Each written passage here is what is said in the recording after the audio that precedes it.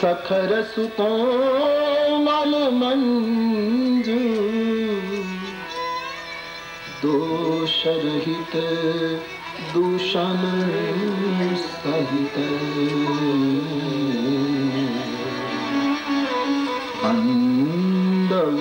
अन्दविचारिवे भवबारिधिबोहित सरिसे जिनहिन सपने हूँ खेद बरनत रघुबर विमल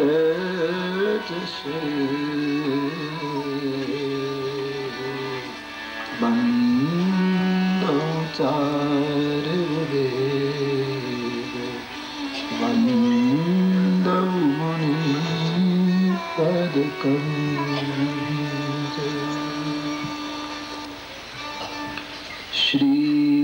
चरण सरोज निज मन मुकुर सरो ज निजमनपुरसुधा भरणघुवर विमलजोको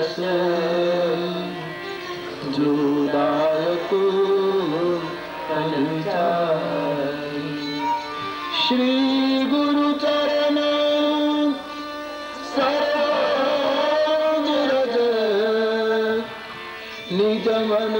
पूरा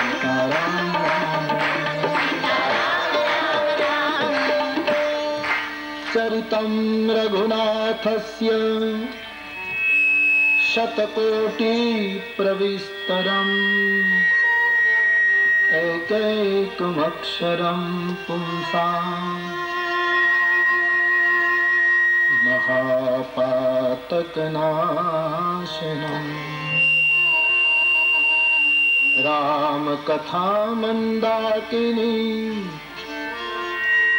चित्रकूटचितचारु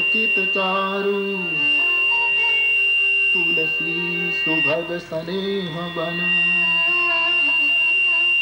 सिय रघुवीर बिहार तुलसी सुभग स्नेह बन सिय रघुवीर बिहार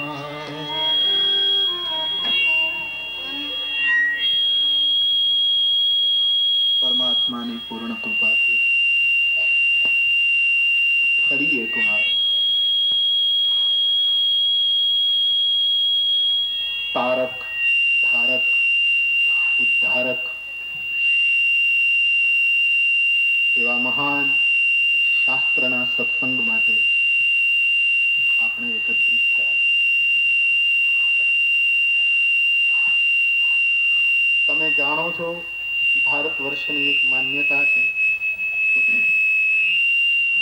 કે અંત સમયે વ્યક્તિની અંતિમ ક્ષણે ગંગાનું એક ટીપું એના મુખમાં પડે તો કહે અધમમાં અધમની મુક્તિ થાય તો રામ કથા તો સ્વયં ગંગા એક ટીપું નહીં, નવ દિવસ સુધી જે માણસ પીવે, મરેલાને મુક્તિ શું? જીવના જીવતાને મુક્તિ પ્રાપ્ત. મૃતકની મુક્તિનો કોઈ પ્રશ્ન જ નથી. મારી તો ત્યાં સુધી શ્રદ્ધા છે. કથાની શી જરૂર? રામાયણને અડો ત્યાં મુક્તિ થાય. हम उसी श्रद्धा के शिखर पर हैं इसलिए जो अनुभूति है वो बोल रहा हूं आज એવી પાવન ગંગા ભારત વર્ષનું એક મહાન શાસ્ત્ર હર દેશનું હર વેશનું હર પ્રજાનું શાસ્ત્ર હર ધર્મનું શાસ્ત્ર હર સંપ્રદાયનું શાસ્ત્ર કોઈ પૂર્વગ્રહથી ન માને તો એને મુબારક બાકી જવાબદારી પૂર્વક નિવેદન કરી રહ્યો છું કે એવું એક મહાન શાસ્ત્ર એનો સત્સંગ આજથી આપણે અહીં શરૂ કરી રહ્યા છીએ. ત્યારે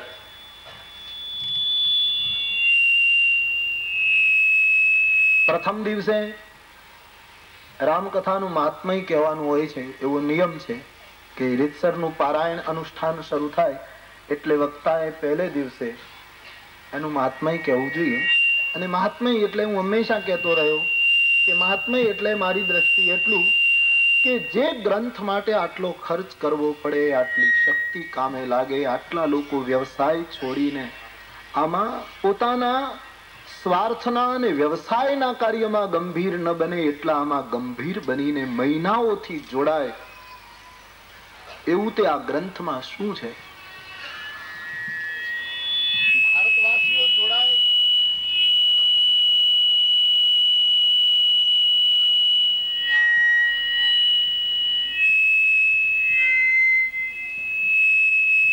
તો જોડાય, યાની તમે સૌ ભાઈ બહેનો ભારતવાસીઓ જ છો. પણ ભારતમાં લોકો જોડાય સમજી શકાય, પણ તમને આ બીમારી ક્યાંથી લાગી પડી? અહીંયા આ દેશમાં?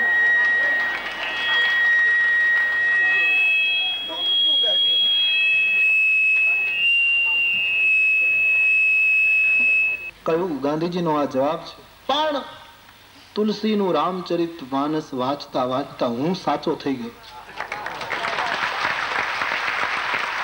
घटना घटी या न घटी इस चर्चा में मैं नहीं जाऊंगा घटी ही है कौन कहता है नहीं घटी હમ?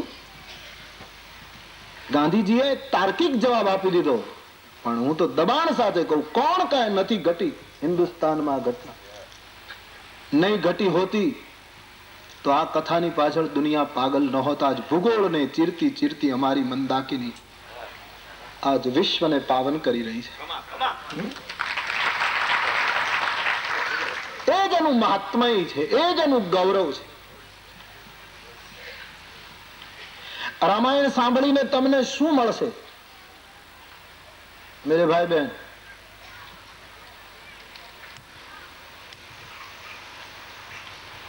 હું ઘણી વાર કહું કે અર્ધો ગાંડો માણસ હોય અને એવા બધા જ અર્ધા ગાંડા ભેગા થયા હોય એક હોસ્પિટલમાં.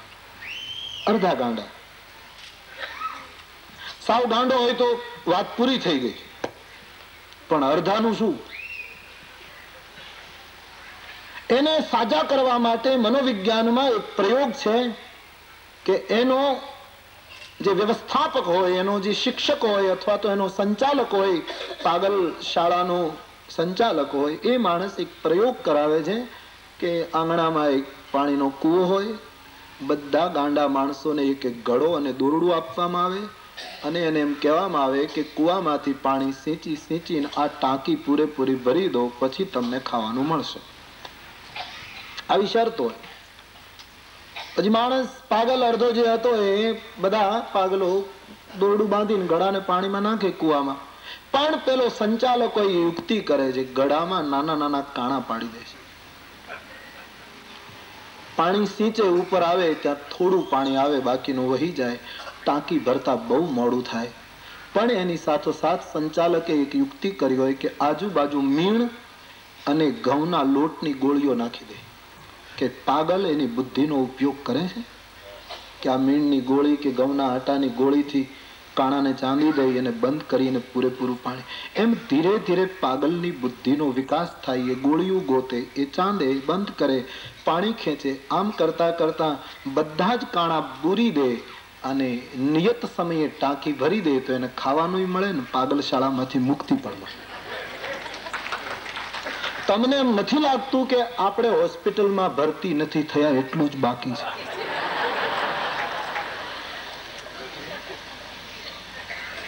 માણસ માત્ર ભલે હું તમે બુદ્ધિજીવી કેવડાવતા હોઈએ, બાકી શાસ્ત્રની દ્રષ્ટિએ પાગલપન ભોગવી રહ્યા પાગલપન ન હોત તો કેમ અત્યાર સુધી મેન તમે વિચાર ન કર્યો કે સુખ પદાર્થમાં છે કે પ્રભુ ચરણમાં છે આટલી બુદ્ધિનો કેમ ઉપયોગ ન કર્યો क्यों इतनी देर कर दी ये पागलपन की निशानी है તો માયન તમારી સ્થિતિ આવી કંઈક છે જીવન જીવનના વ્યક્તિ વ્યક્તિના જીવનના ઘડામાં છિદ્રો પડી ગયા છે. અને એ છિદ્રો માટે તુલસીએ, વાલ્મીકીજીએ, ભગવાન વ્યાસજીએ ચોપાઈઓ અને શ્લોકોમાં મીણ અને આટાની ગોળીઓ ચારે બાજુ ફેંકી છે કે તમે બુદ્ધિનો ઉપયોગ કરો છો? કે આમાંથી એક એક ચોપાઈ લઈને, ગીતાનો એક એક શ્લોક લઈને તમારા જીવનમાં કાણા પડ્યા એને બુરી અને પૂરેપૂરું જીવનનું જળ કાઢી શકો છો? તો શાસ્ત્રની કથા અત્યારે મારી દ્રષ્ટિમાં એ છે કે આપણા જીવનમાં, ચરિત્રમાં, વિશ્વાસમાં, આપણી શ્રદ્ધામાં, આપણી માનવતામાં, આપણા ભાઈચારામાં, આપણા એકબીજાના સંબંધોમાં જે અનેક કાણાઓ પડ્યા છે, એ કાણાને દૂરવા માટે આ શાસ્ત્ર મીણ અને આટાની ખુલ્લી ગોળીઓ છે. સ્વસ્થ દશા મારીને તમારી થો છે, એને લઈ લઈને જીવનને બરાબર પાણીથી ભરીએ. કાણાને બંધ કરી એટલા માટે આ કથા છે. મુક્તિ તો સવાલ જ નથી. મુક્તિનો કોઈ પ્રશ્ન જ નથી. રામ રામ કરો, અમારે રામાયણમાં તો એમ લખ્યું છે. બાબાજીને સ્પષ્ટ કહી દે રામ ભજત સોઈ મુકુતિ ગોસાઈ. રામ ભજત સોઈ મુક્તિ ગોસાઈ રામ ભજત સોઈ મુક્તિ ગોસાઈ રામ ભજત સોઈ મુક્તિ ગોસાઈ અનૈચ્છિત આવે બરિયાઈ અનૈચ્છિત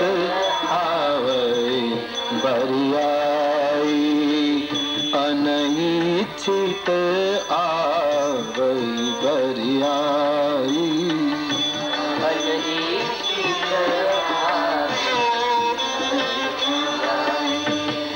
राम भजत सोई मुकुति गोसा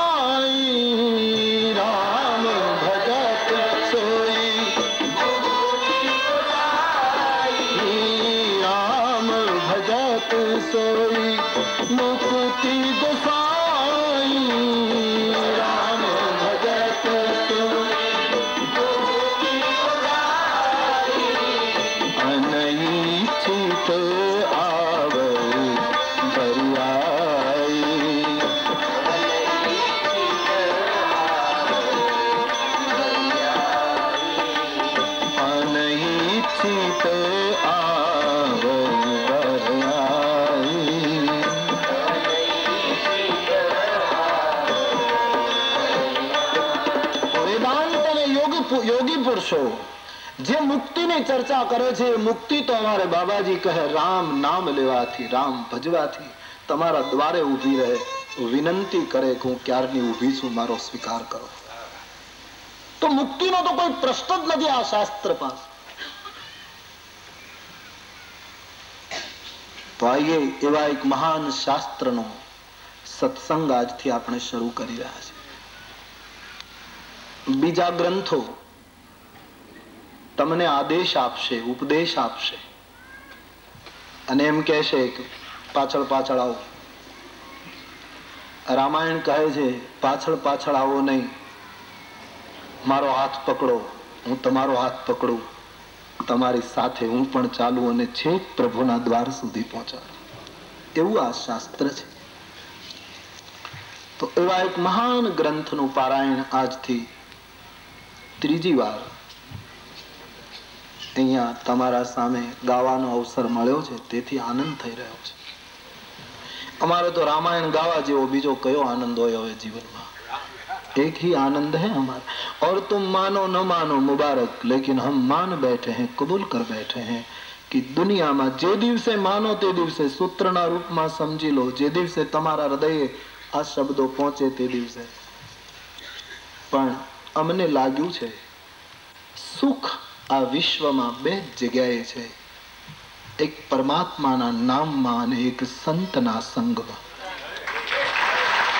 और कहीं सुख नहीं दिखाई देता सुख की भ्रांति हो रही है सुख का आभास हो रहा है સંત સંગ અને પરમાત્માનું મંગલમય નામ એમાં સુખ છે તો સાચા સુખ માટે આપણે એકત્રિત થયા છે આ નવ દિવસની કથા હરે હરે કરવાની કથા નથી મનોરંજન નથી ગંભીરતાથી સમજી લો આ એક નવ દિવસની સત્સંગ શિબિર શરૂ થાય છે અને આ મંડપમાં સવારે દસ વાગે અને બપોરે ત્રણ વાગે પ્રવેશ કરો ત્યારે વ્રતધારી બનીને પ્રવેશ કરો क्योंकि तुम दीक्षित हम दीक्षित होने के लिए आए हैं यहाँ सबको दीक्षित होना इस मंडप में इसलिए हम आए हैं कि दीक्षित हो जाए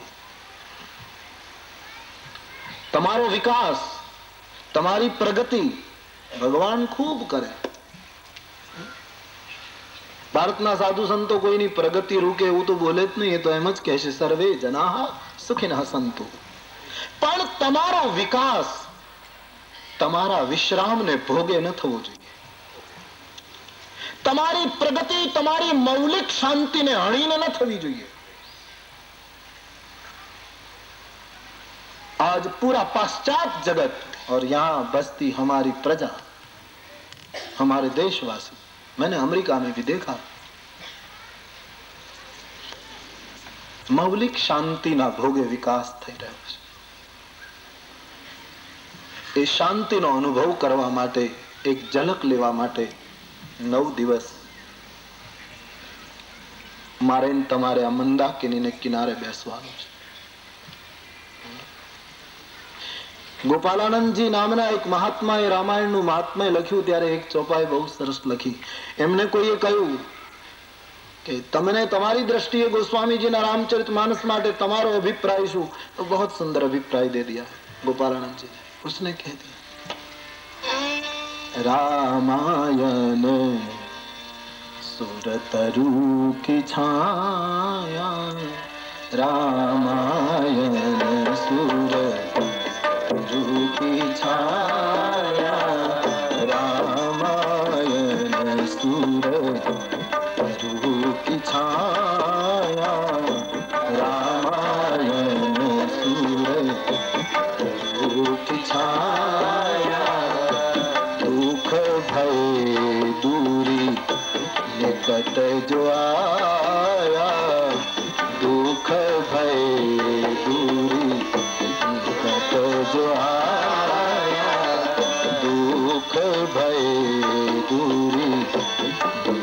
जो आया दुख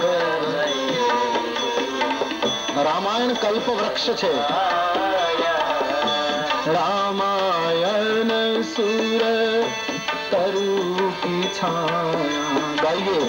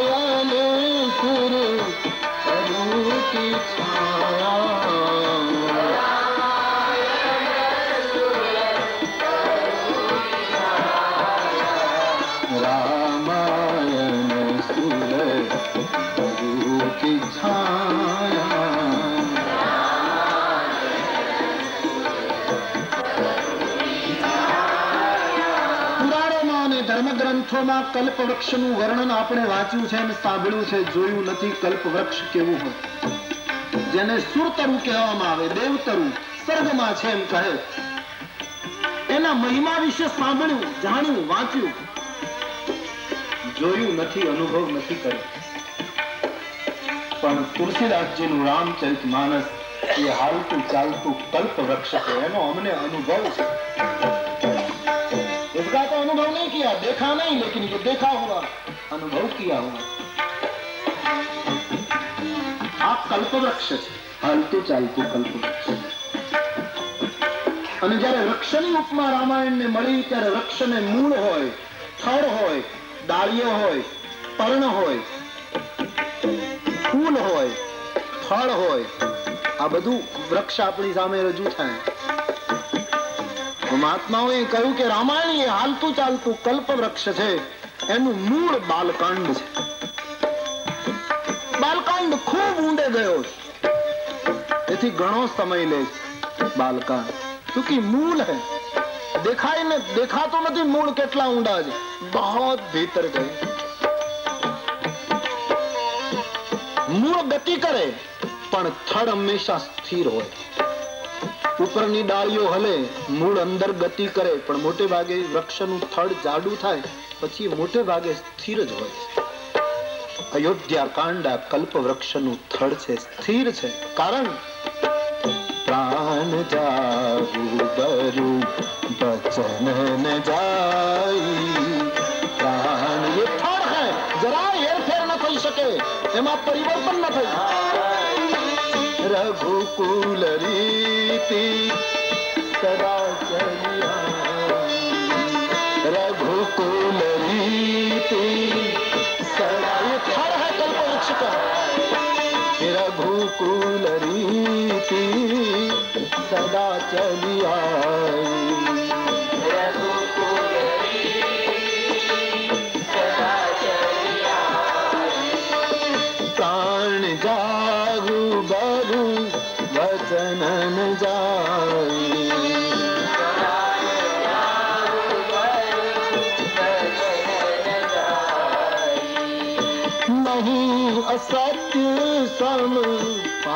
પાતક પુંજા નહીં અસત્ય સમ પાતક પુંજા ગિરિ સમ હો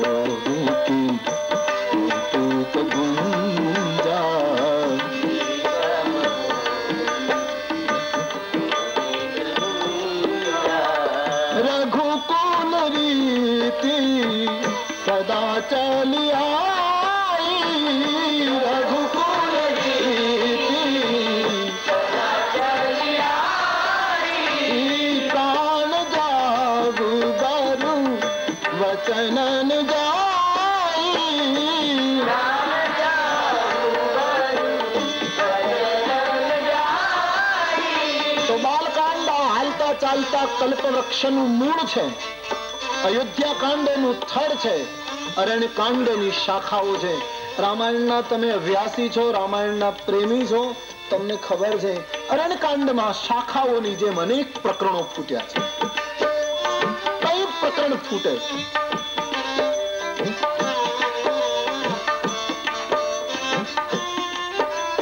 અરણકાંડ શાખાઓ છે. ઇસ કલ્પ વૃક્ષ કી કિસ્કિંધા કાન પર્ણ છે. સુગરી પાનની જેમ ડોલે છે. એ બોલે છે, હવે બધું છોડીને તારી ભક્તિ જ કરવી છે. પણ પવન આવે ને જેમ વૃક્ષનું પાન હલે, એમ ક્યારે પાછો ડોલે એ કઈ નક્કી થતું નથી. કિસ્કિંદા વો હે ઇસ કલ્પ તરુ કે? સુંદરકાંડ ફૂલ છે. जिसमें खुशबू ही खुशबू है અને બગીચામાં ખીલેલા ફૂલની ખુશ્બુ જેમ પવન ચારે બાજુ ફેલાવે એમ हमारे पवन पुत्र सुंदर कांड की खुशबू चारों ओर फैला रहा क्योंकि पवन के बेटे हैं ना पवन तनय बल पवन समाना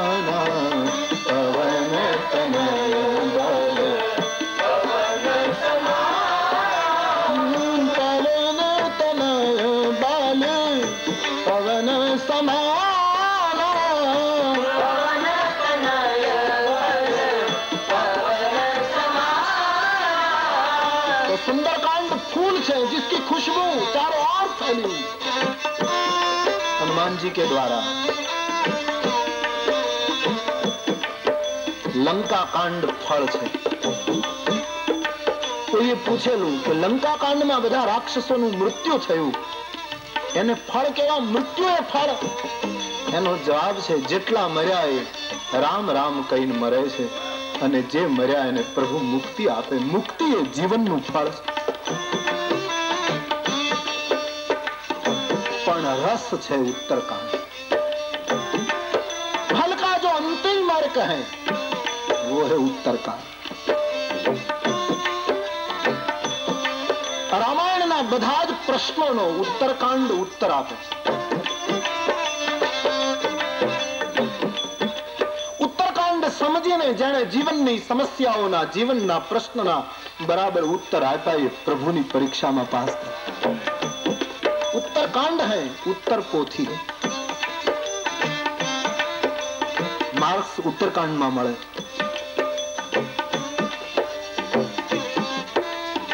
તો આ એક કલ્પ વૃક્ષ છે બાલકાંડ મૂળ અયોધ્યાકાંડ થડ અરણ્યકાંડ શાખાઓ કિસ્કિંદા પર્ણ ફૂલ સુંદરકાંડ લંકાકાંડ ફળ અને એનો રસ છે ઉત્તરકાંડ એ કલ્પ વૃક્ષ જોયું નથી આ અનુભવ્યું છે આજ ગામડે ગામડે, ઘરે ઘરે મારા તમારા હૃદય સુધી આ કલ્પ વૃક્ષ મને તમને છાંયો આપવા આવે છે કે હે જીવ, થોડી વાર બેસ, થોડી વાર બેસ. થોડોક વિશ્રામ લે, ઝાડ હાલે નહીં, પણ આ વૃક્ષ હાલવા માંડે. ઘર ઘર તક પહોંચાય વૃક્ષ. એક સંતનો અભિપ્રાય છે રામકથા એ કલ્પ વૃક્ષ છે અને કલ્પવૃક્ષની છાયામાં જેવો સંકલ્પ કરે માણસ એ પૂરો થાય. આજે માનીને તમને સંકલ્પો તો પુષ્કળ છે. હું તમે સંકલ્પ વગર જો હોઈએ તો તો યોગી ગણાય યોગીની વ્યાખ્યા જ આ છે. સંકલ્પ વિકલ્પ વગરનો દિવસ અને સ્વપ્ન વગરની રાત્રિ એ યોગીની ભૂમિકા છે. જિસકો રાત મેં કોઈ સપના ન આયેંગે और दिन में कोई संकल्प विकल्प न उठे, आठे पौर आनंद। યોગી ની ભૂમિકા સંકલ્પ વિકલ્પ તો મને તમને જે અનેક સંકલ્પો છે તો જેમ કલ્પવૃક્ષની છાયામાં સંકલ્પો પૂરા થાય તો બાબાજી એ કહ્યું રામાયણ કલ્પવૃક્ષ એની છાયામાં બધા સંકલ્પો પૂરા થાય તો પછી બીજી માથાકૂટ શું કામ કરવી આના છાયામાં જ જવું જોઈએ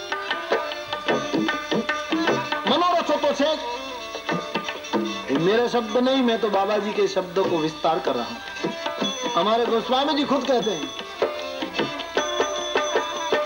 मन कामना सीधी नर पावा। मन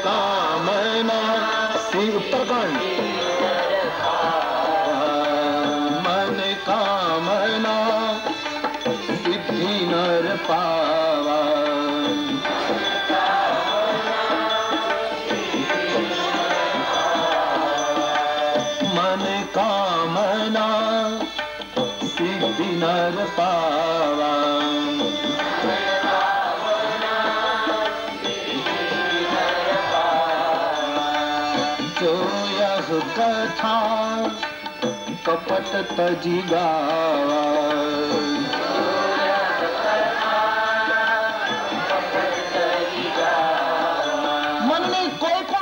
પૂરી થઈ જાય કપટ છોડીને રામાયણનું ગાન કરે તો કામના તો મને તમને બધાને છે તુલસીના વાક્યમાં રામની તાકાત સુધી ફેર કરી શકે ભગવાન કોઈ દિવસ વચન તોડે નહીં સંભવ જ નથી ઈશ્વર તોડે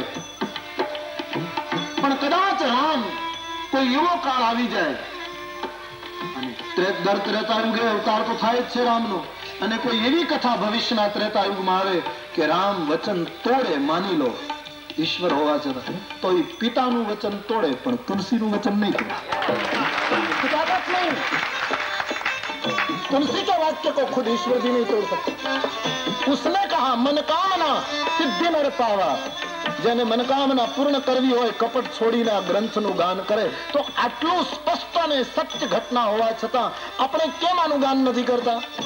તુલસીદાસજીએ તુરંત સમાધાન આપ્યું. નથી ગાન લોકો કરતા, એનું કારણ છે. અતિ હરિ કૃપા અતિ હરિ કૃપા.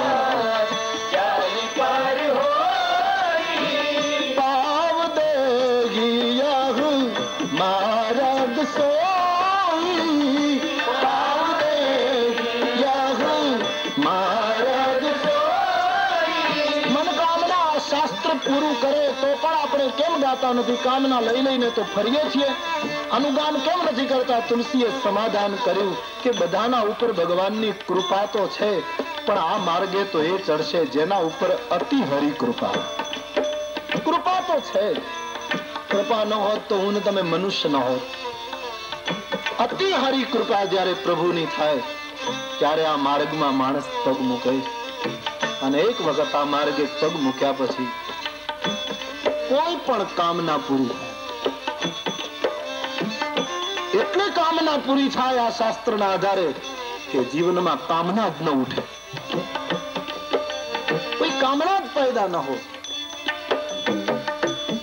તો આ એક એવું કલ્પવૃક્ષ છે મારી, તમારી પાસે કે જેનો આશ્રય કરવાથી આવું બને છે. તો એવા એક મહાન સદગ્રંથનું પારાયણ શ્રવણ, ચિંતન, મનન કરવા માટે એકત્રિત થયા.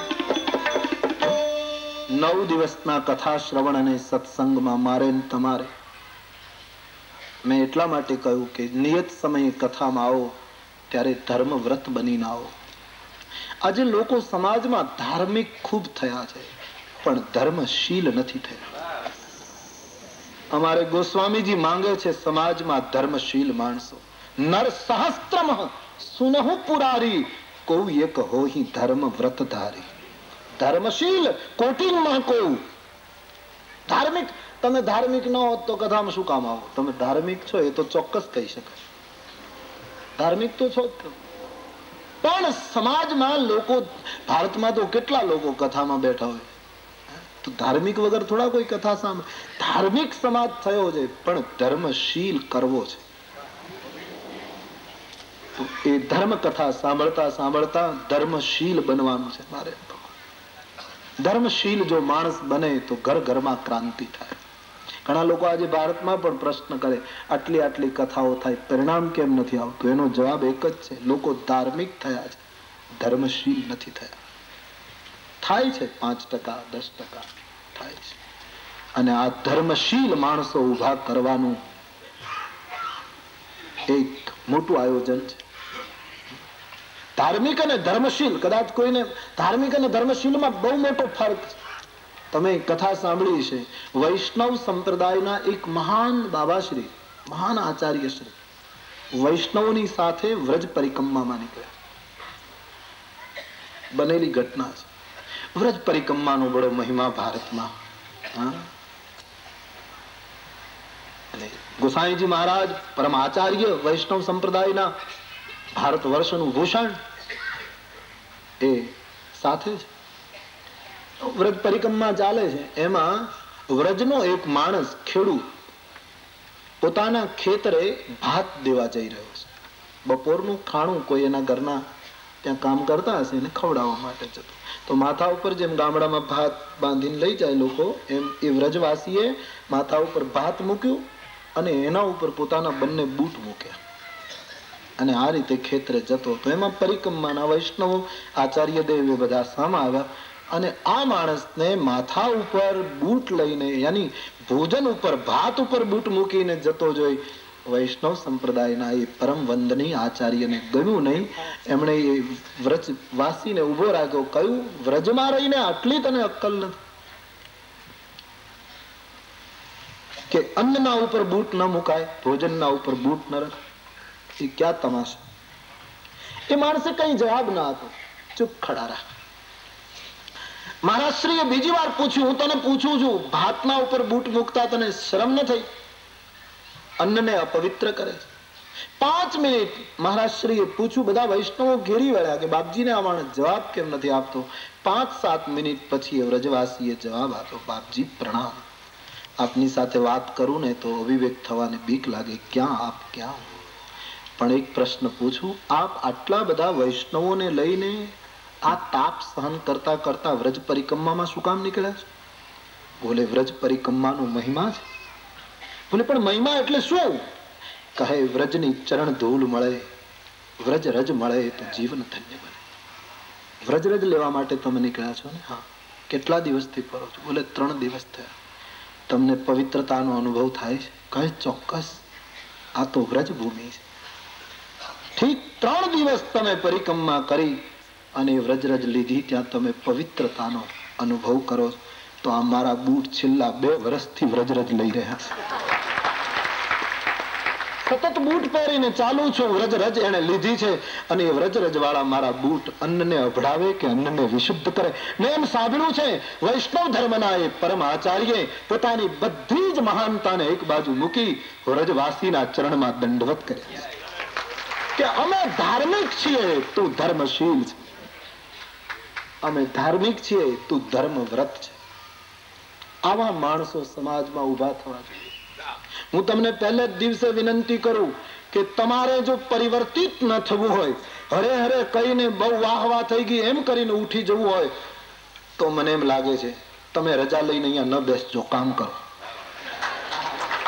યહાં બદલના હે તો આવો. ताकि हम इतने दूर से आए हैं हमारी बातें बेकार न चली जाए और गंभीरता से कथा सुनना બિલક મોર સે કથા સુનના ક્યોંકि જીવન બહુ કિંમતી છે અને એટલું કિંમતી છે અને સાથોસાથ એટલું સલામત છે કે કોઈને ખબર નથી किसी ने उर्दू में कहा है तेरी सांसें गिनी हुई है બધાની શ્વાસો ગણેલી છે અને આટલા શ્વાસ અને આટલા શ્વાસ તેરી सांसें गिनी हुई है जरा सोच समझ कर जीना इस प्यासे मन को पाने को हरि नाम का पीना पीना क्योंकि तेरी सांसें गिनी हुई है जरा सोच समझ कर जीना इस प्यासे मन को पाने को हरि नाम का पीना पीना तेरी सांसें गिनी हुई है હમ? તો મારે તમારે અહીંયા રામાયણની આંગળી પકડીને ચોપાઈ પકડીને ચાલવાનું છે, ઉત્તરકાંડ સુધી, સાકેત લોક સુધી રામ ધામદાસ સુધી મારે તમારે ચાલવાનું છે. એવી દ્રષ્ટિએ કથા શરૂ કરીએ. બાકી તો તમને રામાયણની ખબર છે, રામાયણમાં શું આવે? બધાને ખબર. છે દશરથજીના ચાર પુત્રો હતા, જનકપુરમાં લગ્ન થયા. રાજ તિલકમાં વિઘ્ન આવ્યું, વનમાં જવું પડ્યું. વનમાંથી સીતાજીને રાવણ લઈ ગયો. રીંછ અને વાનરને ભેગા કર્યા, સેતુ બાંધ્યો, લંકા ઉપર ચડાઈ કરી રાવણને મારી નાખ્યો. સીતાજીને લઈને પાછા અયોધ્યા આવ્યા. રામરાજ્યનું સ્થાપન થયું. જય જયકાર થઈ ગયો. રામાયણની કથા પૂરી થઈ. આટલો મોટો ખર્ચ? આટલી વાત માટે આટલો બધો ખર્ચ? બધાને ખબર છે આ વાતની? પણ જળ રોજ પીએ, છતાં પીવું પડે છે. નહીતર મોત આવીને ઉભું રહે. એમ રામ કથા રોજ ગાવી પડે છે. નહીતર ક્યાંક છેલ્લો દિવસ આવીને ઊભો રહે. નવું જીવન છે. રામકથા શ્વાસ છે. ક્યોંકિ એક એક ચોપાઈમાં હનુમાનજી કૂદે અને હનુમાનજી પવન તનય છે. પ્રાણ કે બેટે હૈ. અને પ્રાણ વગર, શ્વાસ વગર, પ્રાણવાયુ વગર જીવી શકાતું નથી. એટલા માટે નિત્ય રામાયણની જરૂર છે. હું તમે પ્રાણવાયુ ભરવા માટે બેઠા છીએ, નવ દિવસ. વધારે એ જથ્થો ભેગો કરવા માટે. એ દ્રષ્ટિથી કથા સાંભળજો. ખાલી બહુ આનંદ આવ્યો બહુ સરસ ને આમ એમ કરી નીકળી નથી જવાનું. બદલવાનું હોય તો બેસો. બદલો લેવો હોય તો નીકળી જાઓ. બદલો रामायण बदल देती है जीवन को તો એવા એક મહાન શાસ્ત્રનું ગાન મારે ને તમારે સાથે કરવાનું મારે ઉપદેશ નથી આપવા हमारी कोशिश भी नहीं उपदेश देने क्योंकि हमारे बाबा जी ने मना कर दी है लागन उर उपदेश जदपि कहे उसे उबार बहु बोले बिहंसी महेश હરી માયા બલ જાનજી શિવ ઉપદેશમાં નિષ્ફળ ગયા તો જીવની શું તાકાત મારે તમારે આપણા મનને સમજાવવું છે એટલા માટે રામાયણના સત્સંગમાં રામાયણ આપણે ત્યાં એમ કહેવાય ને કે મન વચન અને કર્મથી માણસ કામ કરે તો કાર્ય સિદ્ધિ થાય થાય જ એમાં પછી ફરક ન પડે આપણા કાર્યમાં આવી સંગતિ નથી આપણું મન વિચાર કંઈક કરે વાણી બોલે કઈ આપણે પોતાની બધા પરીક્ષા કરે. હું મારી જાતથી શરૂઆત કરું. આપણું મન વિચારે છે કંઈક. બોલવાનો પ્રસંગ આવે છે ત્યારે બોલે છે પાછું કંઈક. અને કરવાનું આવે છે ત્યારે ન ધાર્યું હોય એવું કંઈક ત્રીજું જ કરે છે. ત્રણેયની સંગતિ નથી મારા તમારા જીવનમાં. એટલે શાસ્ત્ર આટલું મહાન હોવા છતાંય આપણા જીવનને કેમ સફળ નથી બનાવી શકતું એનું કારણ? પથ્થર ઉપર પાણી પડે તો ઢોળાઈ જાય અને છલોછલ ગળો ભર્યો હોય એના ઉપર પડે તો ઢોળાઈ જાય. કાં તો હું તમે પથ્થર જેમાન છીએ અને કાં તો છલોછલ અહંકાર અને પૂર્વગ્રહથી ભરેલા છીએ, એટલે આવે છે એટલે ઢોળાઈ જાય. પથ્થર સમાન તો નહીં કહું, ક્યોંકि કઠોર શબ્દ વાપરવો અમારા માટે ઠીક નહીં. પણ હું તમે કંઈક જુદી રીતે ભરાઈ તો ગયા છીએ, જેથી કરીને હાથ ઢોળાઈ જાય છે. નહીતર તો ક્રાંતિ કરી દેતા હે. શાસ્ત્ર કે એક જે રામાયણનું સર્જન કર્યું જે મહાપુરુષે, એને એક શબ્દની અસર થઈ ગઈ ક્રાંતિ થઈ આપણી ક્રાંતિ કેમ ન થાય? આપણી સંગતિ નથી. મન સોચતા હે કુછ, વચન ઉચ્ચારતા હે કુછ, ક્રિયા કંઈક ત્રીજી જ કરે છે માણસ. તુલસીદાસજી ત્રણેયની સંગતિ કરે છે. ગોસ્વામીજીએ કહ્યું, આ કથા હું એટલા માટે કહું છું. સ્વાંત સુખાય તુલસી રઘુનાથ ગાથા. કર્મ, કથા લખવી છે, કર્મ છે. અંતઃકરણના સુખ માટે કર્મ કરું છું. મન સંગતિ તમે જુઓ, મોરે મન પ્રબોધ જેહી હોય. મારા મનને બોધ થાય એટલા માટે કહું છું. અને વચનની પેલી જો નિજ ગીરા પાવન કરણ કારણી રામ જસ તુલસી વાણીનો પવિત્ર મનને બોધ અને મારું કર્મ સ્વાંત સુખ બને એટલા માટે આ કથાનો હેતુ છે. કેટલી સંગતિ છે. સંગતિ કરવા માટે માણસે પૂજા પાઠ તમે કરો, જપ કરો, કરવું જ જોઈએ. પણ મન વચન અને કર્મની સંગતિ કરવા માટે રોજ રાત્રે બધા સુઈ જાય ત્યારે પાંચ દસ મિનિટ બિલકુલ બધું જ એક બાજુ મૂકી દઈને તમે વિચારો સંગતિ છે જીવનમાં संगति नहीं इसलिए शास्त्र सफल नहीं होता दूध કાળી એમ ગાયનું દૂધ પવિત્ર પવિત્ર એટલે શું કેવું ગાયના દૂધ માટે અદ્ભુત પવિત્ર અકબરને કોઈએ પૂછેલું કે દૂધ કોનું પવિત્ર વધારે ગાયનું કે ભેંસનું તો અકબરે કહ્યું ભેંસનું તો બધાને એમ લાગ્યું કે અકબર જવાબ આપે તો એવી જ રીતનો આપી શકે એમાં કઈ આશ્ચર્ય નહીં પણ બધાએ કહ્યું કે હિન્દુસ્તાનમાં તમે રહો છો અહીંયા શાસન કરો છો અહીંયા ગાય પૂજાય છે ગાયનું દૂધ પવિત્ર અકબર કહે નહીં ઊંચામાં ઊંચું દૂધ તો ભેંસનું છે તો ગાયનું દૂધ બોલે એને હું દૂધ કહેતો જ નથી એ તો અમૃત છે अकबर ने कहा वो दूध नहीं है वो अमृत है दूध की यदि बात करनी है तो भैंस का ही दूध उत्तम है બાકી ગાય કા દૂધ દૂધ નહીં, વો અમૃત. તો એમાં કાળી કપિલા ગાયનું દૂધ હોય, શામ, સુર વિપય વિશદ અતિ, ગુનદ, કરહી તે પાન, ગિરા, ગ્રાન મસીહ રામ, જસ. તુલસીદાસજી લિખતે હૈ, શામ, સુર, ભી પય વિશદ અતિ. તો કાળી ગાયનું દૂધ વધારે પવિત્ર, અતિ દિવ્ય. પણ જે પાત્રમાં નાખીએ, પાત્ર બગડેલું હોય, એમાં છાસના ટીપા પડેલા હોય, માંજેલું ન હોય તો કપિલા ગાયનું દૂધ ફાટી જાય એમ ક્યારેક ક્યારેક આપણા પાત્રો બગડેલા એટલે આ દૂધ ફાટી જાય છે નહીતર ક્રાંતિ કરી દે संगति नहीं ना जीवन में मैं बिल्कुल विश्वास से बोल रहा हूं एक चौपाई पर्याप्त है जीवन उद्धार के लिए પણ સંગતિ આવી જાય તો गोस्वामी जी की तरह मोरे मन प्रबोध जही होई સ્વાંત સુખાય તુલસી રઘુનાથ ગાથા અને નિજ ગીરા પાવન કરણ ગાથા બાબાજીને નિજ ગીરા પાવન કરણ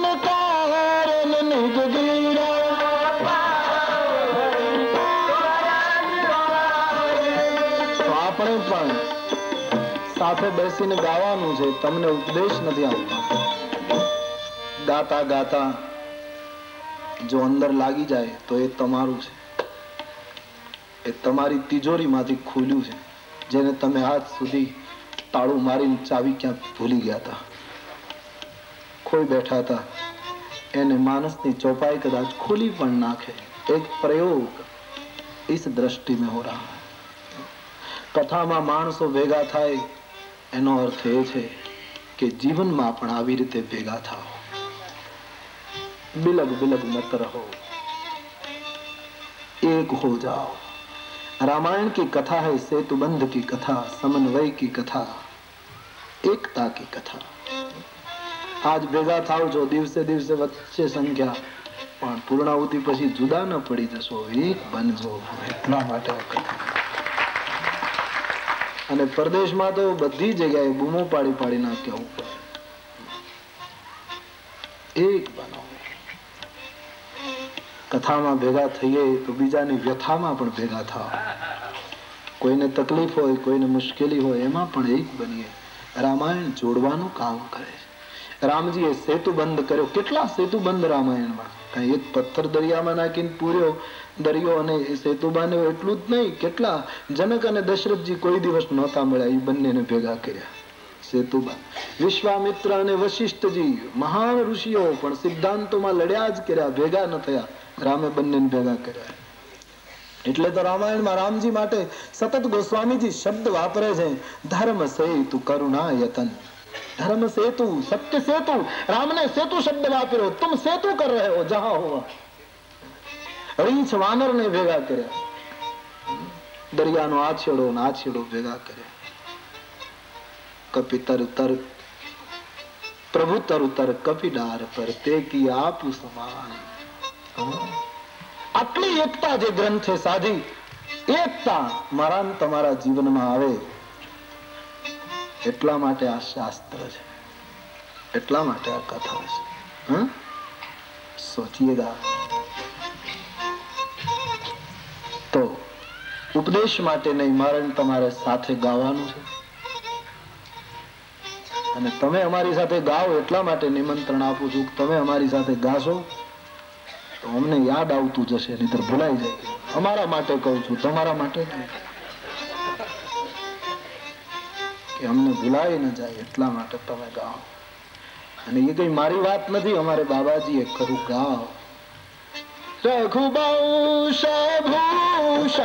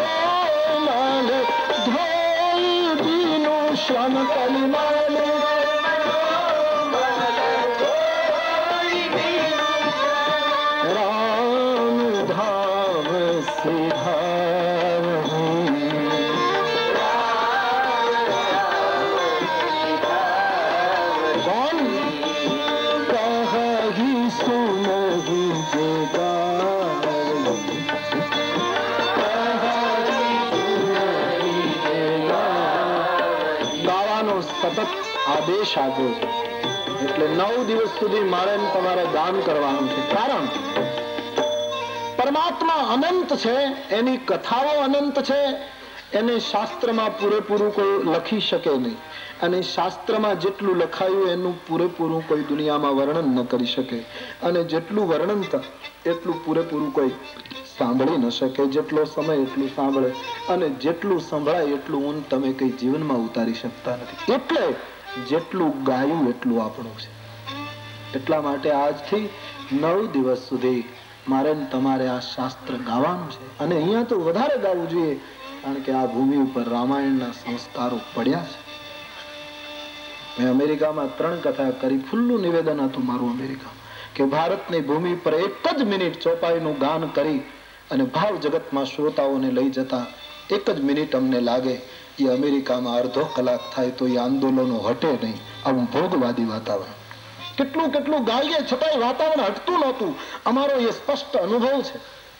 ત્યારે અહીંયા તો પ્રભુની કૃપાથી રામાયણના બીજ ઘણા ધરબાયા તેથી સ્વાભાવિક છે, મારો તો આ ત્રીજી વારનો અનુભવ છે કે અહીં જલ્દી આ શાસ્ત્ર સફળ થઈ શકે માટે સબકો ગાના હૈ.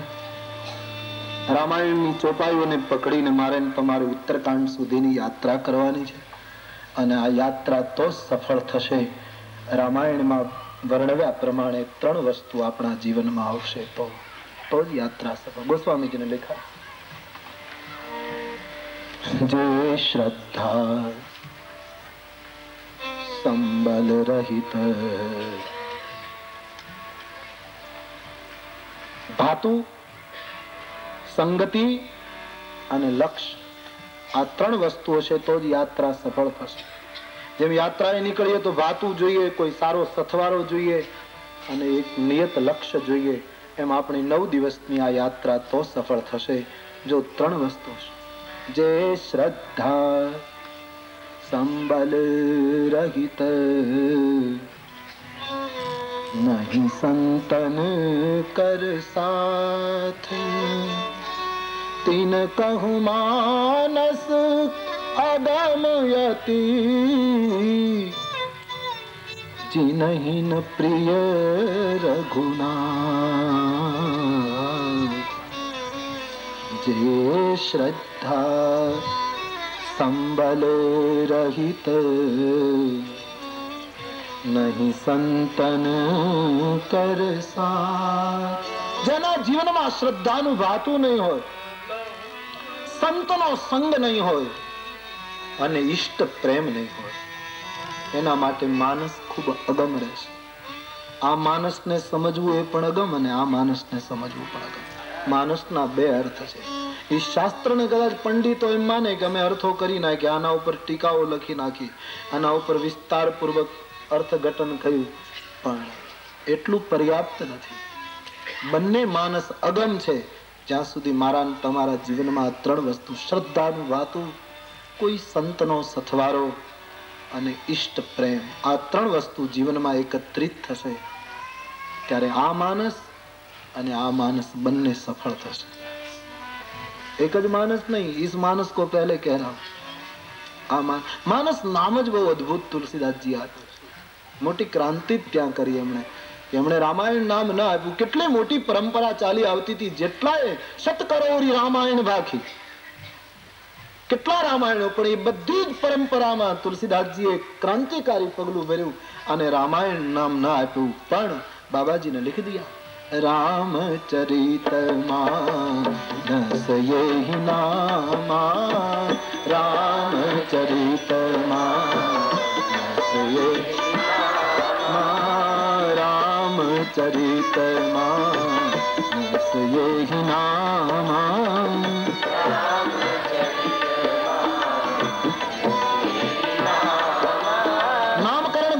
ગોસ્વામીજી બાલકાંડમાં કરતા સ્પષ્ટ લખ્યું છે. આ ગ્રંથનું નામ રામચરિત માનસ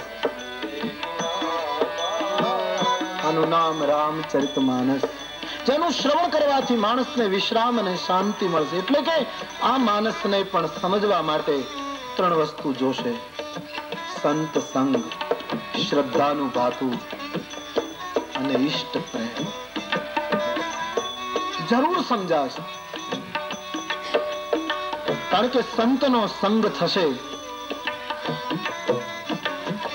તો સંત જીવનમાં મોટું કામ કરશે અત્યારે હું ઘણી વખત કહું છું કે ભારતમાં અને ભારતની બહાર બધી જગ્યાએ કોઈ પણ વ્યક્તિ હોય.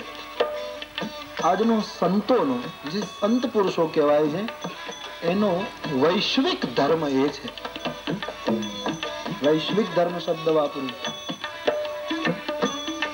આજના સંતોએ આટલું કામ કરવું જોઈએ.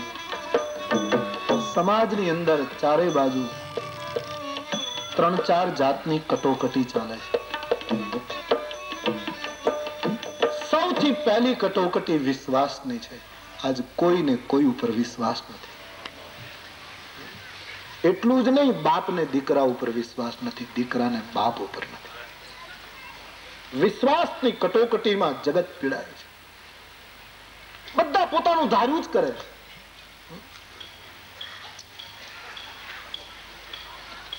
પત્ની પત્નીના પોતાના વિચારોમાં, પતિ પોતાના વિચાર, કોઈ કોઈના ઉપર કોઈનું પહેલું નથી. વિશ્વાસની કટોકટી છે. इसलिए किसी ने बहुत सुंदर लिखा कि गैर मुमकिन है कि ये दुनिया अपनी मस्ती छोड़ આ જગત પોતાની મસ્તી છોડે એવું લાગતું નથી બાપ બાપની पति पत्नी पति नी मस्ती પત્ની भाई भाई नी मस्ती મસ્તીમાં सब अपने अपने ढंग में झूम रहे गैर मुमकिन है असंभव से कवि कहे गैर मुमकिन है कि ये दुनिया अपनी मस्ती छोड़ दे पुता नहीं मस्ती कोई छोड़वा तैयार न નથી गैर मुमकिन है कि ये दुनिया अपनी मस्ती छोड़ दे इसलिए ए दिल तू ये बेकार बस्ती छोड़ दे આ વસ્તીને છોડી દે કવિ કહે પણ બહુ સમજીને લખ્યું બેકાર બસ્તી આમાં જેટલું બેકાર હોય એટલું છોડી દે બધું છોડી કારણ કે છોડીને ભાગીને પાછું બીજું શરૂ કરવાનું ક્યાં જવાનું છોડી એટલે बेकार जितना बेकार है इतना छोड़ दे गैर मुमकिन है कि ये दुनिया अपनी मस्ती छोड़ दे इसलिए ऐ दिल तू ये बेकार बस्ती छोड़ दे दूसरी बात तू न बंदा बन खुदी का और तू न बन खुद खुदा તું તારી જાતને ભગવાન પણ ન બનાવ અને તું કોઈનો ગુલામ પણ મહેરબાની કરીને ન થા किसी का गुलाम भी मत हो और अपने आप को भगवान भी मत बना तू न बंदा बन खुदी का और तू न बन खुद खुदा हस्ती है उल्फत में તું अपनी હસ્તી જોડ દે પરમાત્માનું એક આ મહાન સંમેલન ચાલે છે ભગવાનનો એક આ વિરાટ રાસ ચાલે છે એમાં તું ગોપી થઈ જા એમાં તું વ્રજાંગના બની જા. સા નરસિંહ મહેતો ગાય છે સારમાં સાર, અવતાર, અબળાતણો. વ્રજ ભાવમાં ડૂબી જા. તો આજે સમાજમાં મોટામાં મોટી મુશ્કેલી છે, વિશ્વાસની કટોકટી બીજી કટોકટી છે, ચારિત્ર. પ્રત્યેક વ્યક્તિ પોતાના જીવનને પૂછે ચારિત્રની બહુ જ મોટી કટોકટી સમાજમાં ચાલે છે. ત્રીજી કટોકટી શિસ્તની. શિસ્ત ક્યાં છે? અને શિસ્ત કોઈ દિવસ બહારથી નથી આવતી. જ્યારે આવે છે ત્યારે અંદરથી આવે છે. એક નવે. અને રામાયણનું પૂરું પ્રમાણ. લક્ષ્મણજી જેવા પરમ વિરાગી પુરુષ. તજી નિદ્રા, તજી નારી, તજી ગાદી, અયોધ્યાની. રામના મન તણી મૂર્તિ સુમિત્રા વીણ મળે ક્યાંથી? એ અમારો લક્ષ્મણ. આવા પરમ વિરાગી, પરમ જાગૃત, પરમ ત્યાગી, રામ નો પડછાયા જેવી વ્યક્તિ, રામ અનુગામી. લક્ષણ ધામ સુરામ પ્રિય સકલ જગત આધાર, એ લક્ષ્મણજીએ રેખા ખેંચી, પણ બહારથી ખેંચેલી હતી એટલે સીતા ઓળંગીને બહાર નીકળી ગયા. આ દુનિયામાં જેટલી રેખાઓ બહારથી ખેંચાય છે, એને દુનિયામાં કોઈ પાળતું નહીતર વૈરાગ્ય લક્ષ્મણ રેખા ખેંચે અને સીતાજી ન માને પણ જ્યારે જ્યારે જીવનમાં બહારથી શિસ્ત આવી, બહારથી નિયમો આવ્યા, બહારથી ઉપદેશ આવ્યો, એ રેખાને જગતમાં કોઈએ પાળી નથી. એમાં સીતાજી પણ ઓળંગી નીકળી. અને એ જ સીતા પંચવટી એટલે ઋષિની ભૂમિ હતી. લક્ષ્મણ જયાની રેખા હતી, છતાં ઓળંગીને બહાર નીકળી ગયા કારણ કે રેખા બહારથી. એ જ સીતા અસુરની ભૂમિ ઉપર, અશોક વાટિકામાં બેઠા. ત્યારે એને કોઈ રેખા ન દોરવી પડી, ત્યારે એને અંદરથી રેખા ફૂટી. તૃણધરી ઓટ કહતી બહુ દેહી. સુમીરી અવધપત પરમ સ્નેહી, રાવણ ખડક ખેંચીને આવ્યો, પણ તાકાત નહીં રાવણ એને અડી શક્યો. અહીંયા રેખા ઓળંગીને બહાર ગયા એટલે અપહરણ થયું અને ત્યાં રેખા નહોતી, પણ એક તણખલું, એક ભીતરથી ઊભી થયેલી શિસ્ત, તૃણધરી ઓટ કહત બઈ દેહી, સુમીરી અવધપતિ પરમ સ્નેહી, રાવણ સ્પર્શ ન કરી શક્યો. વ્યક્તિના જીવનમાં જ્યારે આવી સ્વયં સંચાલિત રેખા જ્યારે ઉત્પન્ન થાય, ત્યારે જ વ્યક્તિ સુધરે છે. બહારથી રેખા ગમે તેટલી દોરો, સીતાજીએ ઓળંગી તો હું તમે ક્યાં સુધી સલામત છીએ? અને કોઈ રેખા માને છે?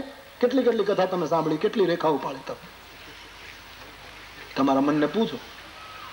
રામાયણમાં તો લક્ષ્મણ રેખાઓ જ છે ને બધી. હર ચોપાએ લક્ષ્મણ રેખા હે.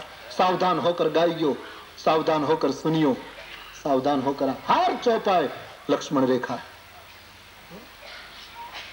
પણ જેટલી જેટલી બહારથી રેખા ખેંચાય એને કોઈ માન જ્યારે અંદરથી રેખા ખેંચાય છે.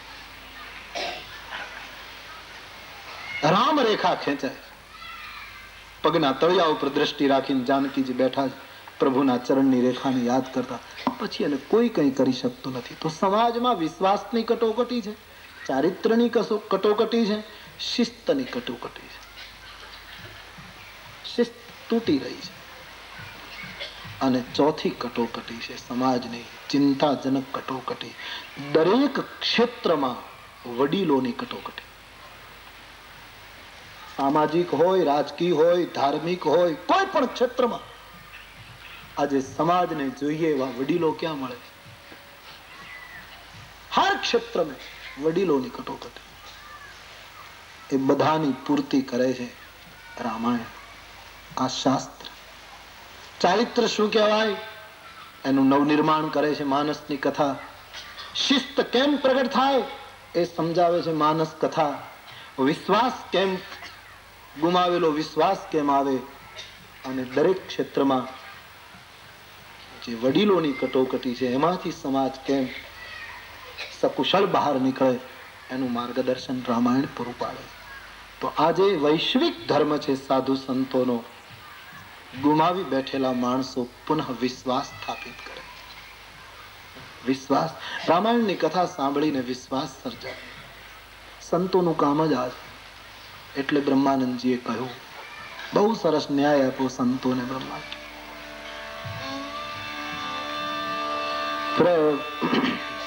સંત પરમ હિતકારી જગત માહી संत परमोहित गाइए। संत परमोहित जगत माही। ब्रह्मानंद जी का बड़ा प्रसिद्ध पद। संत परम हितकारी जगत माही। संत परम हितकारी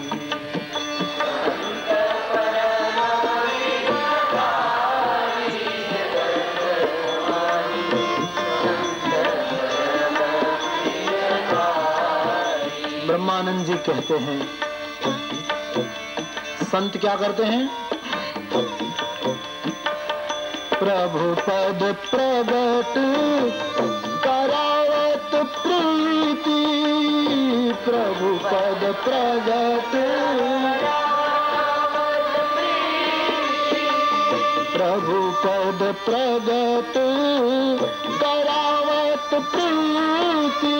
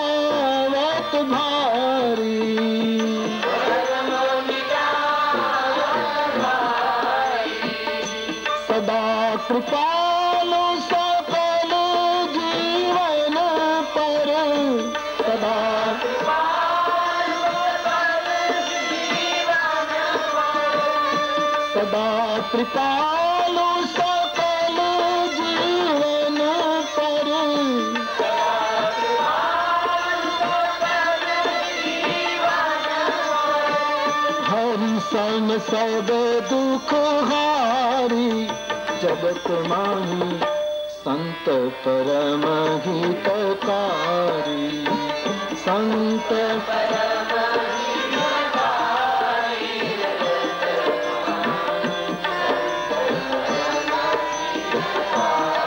વિશ્વાસનું સર્જન કરે સંત સંત શબ્દ માટે તો શું કહું આજ મેન તમે સંત શબ્દને બહુ સસ્તો કરી નાખ્યો બહુ કઠિનતા કે બાદ. રામાયણમાં અમારે તુલસીદાસજી સાધુ અને સંતને જુદા પાડે છે. સાધુમાં ફરક સંતમાં ફરક. સાધુ અને સંત અમુક જગ્યાએ એક અર્થમાં વપરાય છે, પણ એના ગર્ભિત અર્થો જોઈએ તો બહુ અંતર છે સાધુ અને સંત. કારણ કે તુલસીદાસજી નહીતર બે શબ્દનો પ્રયોગ ન કરે. સાધુ સંત કે તુમ રખવારે. साधु और संत दोनों बात કરે સાધુ કોને કહેવાય વંદના પ્રકરણમાં શરૂઆતમાં જ પહેલા સાધુની વંદના કરશે પછી સંતની વંદના સાધુ એ છે જેમાં ભેદ હોઈ શકે આ સંન્યાસી સાધુ આ ઉદાસીન સાધુ આ વૈરાગી સાધુ આ જૈન સાધુ આ સ્વામિનારાયણના સાધુ આ ઈસાઈ સાધુ આ જરથોસ્તી સાધુ, આ મુસ્લિમ સાધુ, સાધુમાં ફરક હોય છે. આના સાધુ આના સાધુ. સંતમાં બધી જ ભૂમિકા પૂરી થઈ સંત શબ્દ આવે, પછી આ કોઈ બંધન રહેતા નથી. સંત સંત. સંપૂર્ણ અભેદી વ્યક્તિત્વ એ સંતત્વ હજી આગળ જઈને કહું તો સાધુ એનું નામ કહેવાય. જે પરમાત્માને પ્રેમ કરે અને સંત એને કહેવાય જેને પરમાત્મા પ્રેમ કરે संत वो है जिसको परमात्मा જેના વગર ભગવાન ને ગમે નહીં એ સંત છે ભગવાન વગર ન ગમે એ સાધુ છે जिसको प्रभु याद फरमाए भगवान जिसके विरह में रोए वो संत है હનુમાનજી ને હૃદય લગાડતા ભરી આયે જલ રાજીવ નયન નેત્રમાં આંસુ આવી જાય રાઘવ એ સંત સાધુને એક આસન ઉપર બેસાડવા કઠિન હિન્દુસ્તાનમાં જુઓ મુશ્કેલી કોનું ક્યાં આસન રાખવું કોને ક્યાં બેસાડવા તકલીફ બડી મુશ્કેલ રહેતી એક જગ્યાએ એક કાર્યક્રમ હતો મારે જવાનું થયું પછી હું તો નીચે બેઠો હતો. મારે બોલવાનું હતું એમાં. મહાન મહાન મહાપુરુષો બેઠા હતા આપણા દેશના. પછી મારે જ્યારે બોલવાનું આવ્યું, ત્યારે મને નીચે બેસવા દે નહીં અને ગાદી ખાલી કરે. એ બની હુઈ ઘટના મેં આપસે બતા રહા મેં કહા ભાઈ, અમે લોકોના માણસો છીએ, અમને લોકોની વચ્ચે બોલવા દે. મારે ઉપર નથી બેસવું. તમે પાછળથી આશીર્વાદ આપો. એટલે અમે લોકો સુધી પહોંચી શકીએ. પણ હવે મને નીચે બેસવા દે નહીં. કે તોય એને તકલીફ. અને ગાદી કોઈ ખાલી કરે. આ બનેલું છે. કેવી દયાજનક સ્થિતિ. પછી અડધી ખાલી કરી, અડધામાં હું બેઠો અડધામાં એ આવી દશા. કોને આ બીમારી કેવી આનો શું ઈલાજ? મેં ને મેં કંઈ કહેવા ખાતર નહીં, ખરેખર. મેં કીધું, ભાઈ, સરખી રીતે બેસીને હું બોલી શકું ઊભો બોલી શકું. તો એમ પણ ન થવા દે. આમ સંતત્વ એ છે, જ્યાં આવો કોઈ ભેદ ન રહે આપણા જીવનમાં. બહુ જ કઠિન ભૂમિકા છે સંતત અને તેથી મારી શ્રદ્ધા કહું તો એટલું જ કહું કે તમે સંતના દર્શન ભલે ન કરો પણ સંત શબ્દ બોલો ત્યાં પાપ ધોવાવા માટે આટલી સંત શબ્દમાં તાકાત. જો ગુમાવેલો વિશ્વાસને પુનઃ કરે સમાજ. પેલી કથા તમે સાંભળી છે પેલા મસ્ત મહાત્માજી જતા હતા ઘોડા ઉપર બેસીને. પછી એક માણસ રસ્તામાં પગ ભાંગી ગયો છે એવું નાટક કરીને બેઠો. કે લંગડો છું એવું નાટક કરે મહાત્મા પાસેથી ઘોડી લઈ લેવા માટે. મહાત્માજી ઘોડો લઈને નીકળ્યા ત્યારે પેલા એ કહ્યું, બાપજી, મારો પગ ભાંગી ગયો છે અપંગ છું. મને તમે ઘોડા ઉપર બેસાડો. તો સંત તો પરમ હિતકારી, જેનું જીવન બીજાના માટે જ વહે છે. નીચે ઉતર્યા કહું બહુ જ એ તો બિલકુલ નાટક કરેલું, લંગડા હોવાનું પગ એવી રીતે રાખ્યો પીડા થતી હોય એમ બોલે. મહાત્મા એને સંભાળીને ઘોડા ઉપર બેસાડ્યો, લગામ હાથમાં પકડીને પેલો ઉપડ્યો. મહાત્માને કહ્યું હું જાઉં છું, મારો કઈ પગ ભાંગ્યો નથી, આ તો તારું ઘોડું લઈ લેવું. ભાગ્યો. સંત એની પાછળ દોડ્યા બનેલી ઘટના. બોલે, મને મારા કરતા ઘોડાની જરૂરત તને વધારે લાગે છે. તું લઈ જા. અમે લોકો ટીકા કરે છે મહાત્મા થઈને ઘોડા ઉપર ફરે છે. આમે ટીકા થાય છે. એના કરતા ટીકા બંધ થાય. તું લઈ જા પણ હે ભાઈ, એક વિનંતી. મારી એક વાત માન. પેલો દોડાવે, મહાત્મા પાછળ દોડે. હું કોઈને નહીં કહું. સાધુનું વચન છે, હું કોઈને નહીં કહું કે તું મારું ઘોડું આવી રીતે છેતરીને લઈ ગયો. પણ મારી એક વિનંતી સાંભળ. પંદરેક મિનિટ મહાત્મા પાછળ દોડ્યા, શ્વાસ ચડી ગયો. પેલા ને ભગવાને પ્રેરણા કરીએ છીએ એમણે ઘોડું રોક્યું. ઊભો રહ્યો. હું કોઈને નહીં કહું કે તું મારું ઘોડું પડાવીને જતો. મારી ઘોડી લઈ ગયો. પણ એક વિનંતી શું? તું કોઈને ન કહેતો. શું? કે લંગડા થવાનું નાટક કરીને મેં ઘોડું પડાવી લીધું. કેમ? કે દુનિયામાં અપંગ ઉપર કોઈ વિશ્વાસ નહીં તો એમ કહીશ કે મેં અપંગ હોવાનું નાટક કરીને એક મહાત્મા પાસેથી ઘોડી લઈ લીધી. કાલ જેટલા અપંગ સમાજમાં હશે, એને કોઈ ગણકારશે નહીં, એના ઉપર કોઈ વિશ્વાસ નહીં કરે. સમાજનો આવો વિશ્વાસ તૂટી ન જાય. એટલા માટે મહાત્મા કહે હું તો કોઈને નહીં કહું પણ તું આ વાત આ છે સંતોનું કામ જો વિશ્વાસ કુદરત दूसरों के लिए जो जीते संत परम हितकारी जगत माही संत परम हितकारी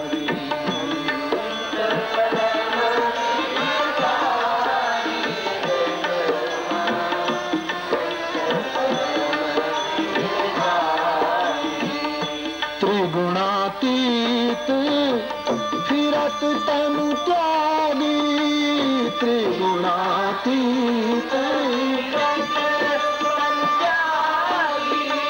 રીત જગત સે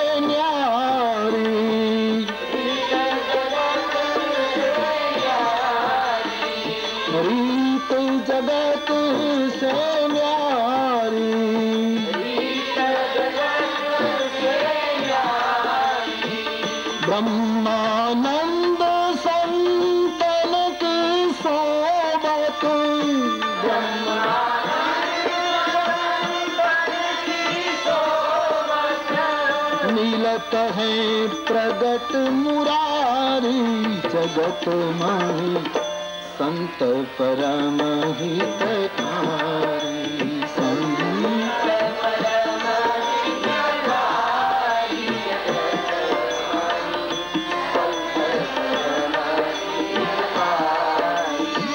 સંત પરમહિતકારી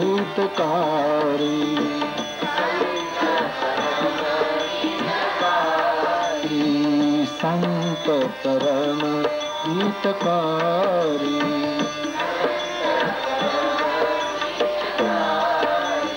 આજે વૈશ્વિક ધર્મ છે સંતોનો વિશ્વાસ પુનઃસ્થાપિત કરવો. ચારિત્રની કટોકટીમાં કેમ કોઈ સમાધાન આવે એનો પ્રયાસ કરવો? જન જન હૃદયમાં અંદરથી લક્ષ્મણ રેખા ફૂટે. એવી રીતે સત્સંગને આગળ ધપાવવો. એ રામાયણ કામ કરે છે.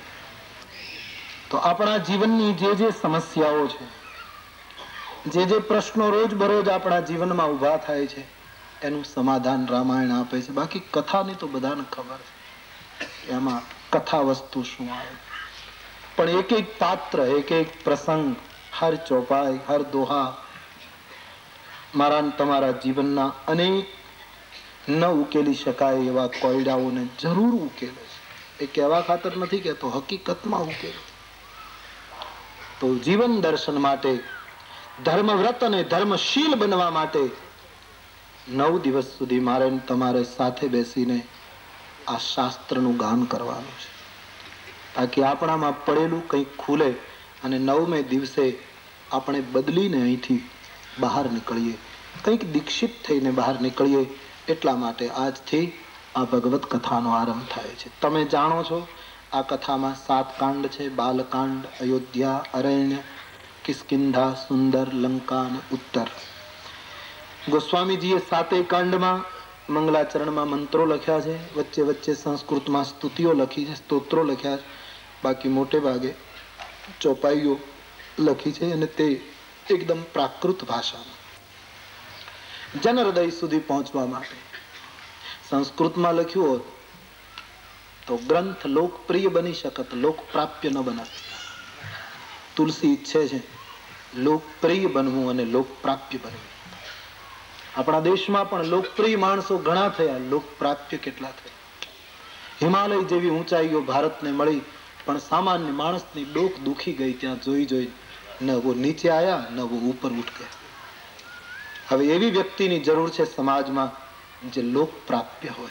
અમારે બાબાનો ગ્રંથ, બાબાના ઈષ્ટ રામ લોકપ્રિય પણ છે અને લોકપ્રાપ્ય પણ છે. બે વચન, મુનિ, મન, અગમ, તે પ્રભુ કરુણાએન બચન કિરાતન કે સુનત. જેમી પિતુ, બાલક બેન લોકપ્રાપ્ય છે તુલસી કે રામ. લોકપ્રિય તો છે જ. એમ તુલસીજીનું આ શાસ્ત્ર પણ લોકપ્રિય પણ છે લોકપ્રાપ્ય પણ છે. સંસ્કૃતમાં લખી શકત કોઈની તાકાત નહીં એવું લખી શકત તુલસીદાસજી જરૂર પણ એ બધી જ ઊંચાઈને એક બાજુ મૂકીને બિલકુલ પ્રાકૃત ભાષામાં રામાયણ રચ્યું કે પ્રાકૃત માણસ પ્રાકૃત ભાષા સમજીને સંસ્કૃત બની જાય प्राकृत को संस्कृत करने के लिए अशिक्षित को दीक्षित करने के लिए બાબાજી ને ઇસ પ્રાકૃત ભાષાનો પ્રયોગ કર્યો અને પ્રાકૃત ભાષાની કવિતામાં એ ચોપાઈ ગયો. ચોપાઈ એટલે કવિતા માટે મેં એમ સાંભળ્યું છે, કવિઓ પાસેથી વિદ્વાન કાવ્ય નિષ્ણાતો પાસેથી કે ચોપાઈની રચના એ સામાન્ય રચના ગણાય. બાકી બીજી બધી રચનાઓ બહુ કઠિન છે, બીજા છંદો બહુ કઠિન, પણ ચોપાઈ બનાવવી બહુ છે. પણ નાનામાં નાની વસ્તુ, સ્મશાનની ભસ્મને કોઈ અડે નહીં, પણ શંકરના અંગે લાગ્યા પછી માણસો આંખમાં આંજવા માંડે. એમ એક સંતના હાથમાં ચોપાઈ આવી ગઈ તો આજ મંત્રો બની માણસની આરાધના બની ગઈ. એક સંતના હાથમાં જ્યારે વસ્તુ આવે ત્યારે કેટલી ઊંચાઈ મળે છે. આ ચોપાઈ કેટલું અદ્ભુત શાસ્ત્ર બની બેઠું. કવિતાની મહારાણી બની છે. ચોપાઈઓ મંત્ર બનીને બેઠી મને ઘણા માણસો એમ કહે કે રામાયણનો પાઠ કરવાનું તમે કયા કરો કે પાઠ કરો પાઠ કરો. ચોપાઈનો અર્થ ના આવડે તો તો મારું કહેવાનું અર્થ ના આવડે તો એ પાઠ કરો. વેદના મંત્રોના બધાને અર્થો આવડે નથી આવડતા તો એ મંત્રો ઉચ્ચારવાનું એક ફળ છે. એની અસર થાય. એમ રામાયણની ચોપાઈનો અર્થ ના આવડે તો પણ એનું ગાન કરો. એ મંત્ર છે, ઉસકા ફલ હૈ, ઉસકા પરિણામ લગેગા હી. ક્योंकि શાસ્ત્ર. તો ચોપાઈઓ લખી, દોહાઓ લખ્યા, છંદો લખ્યા, સોરઠાઓ લખ્યા. આ છે એનું ભાષા કી પ્રાકૃત ભાષા કી રૂપ. સાત કાંડમાં આ રીતે સર્જન કર્યું આઈએ બાલકાંડના આરંભ તરફ આપણે ગતિ કરીએ.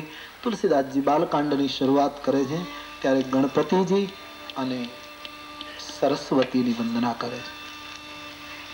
પ્રથમ સરસ્વતી અને ગણપતિ એ સ્વાભાવિક છે. પરંપરાનો તુલસીદાસજીએ નિર્વાહ કર્યો છે કે કોઈ પણ વસ્તુની શરૂઆત કરે તો માણસ ગણેશને યાદ કરે, સરસ્વતીની. અને તેથી તુલસીદાસજી વિનય પત્રિકા લખે ત્યારે પણ આ ક્રમ જાળવે. गणपति की शुरुआत तो स्वामी जी ने लिखा है, आइए सब सुने और गाए। गाइए गणपति जगवंदन।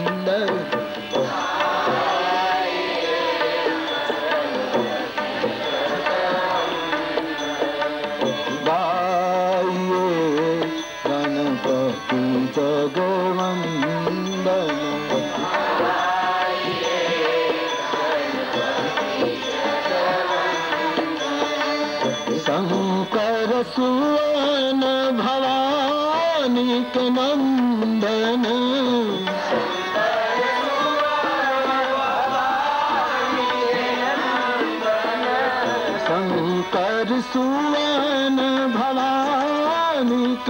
के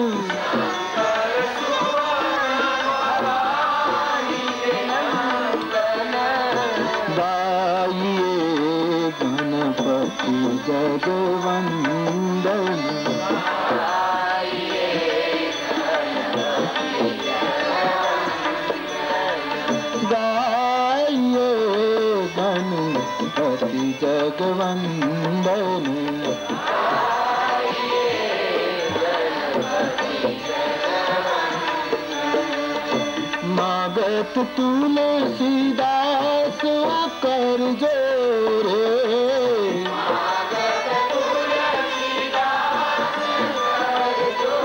هيت تلسي داس ڪر جو ري.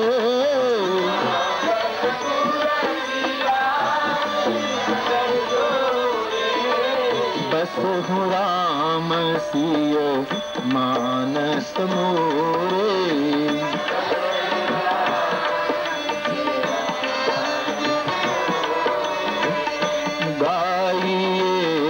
गणपति जगवंदन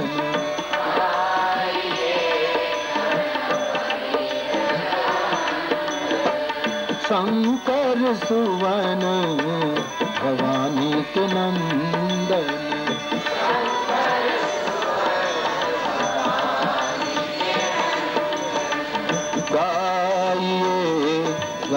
गणपति जगमंदन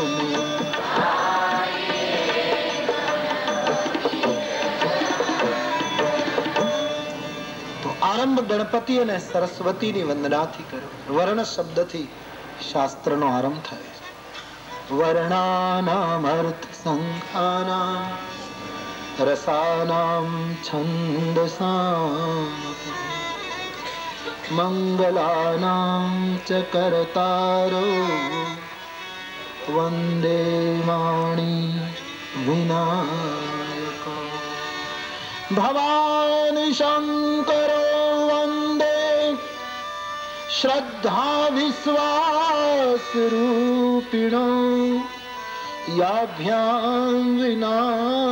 पश्यन्ति। सिद्धाः स्वान्तः ગણપતિ પાસેથી જ્ઞાન, સરસ્વતી પાસેથી શબ્દો મેળવવા માટે બંનેની એક સાથે વંદે વાણી વિનાયકો, વિનય અને વાણી બંને પ્રાપ્ત કરવા માટે પ્રારંભમાં એમને યાદ કર્યા.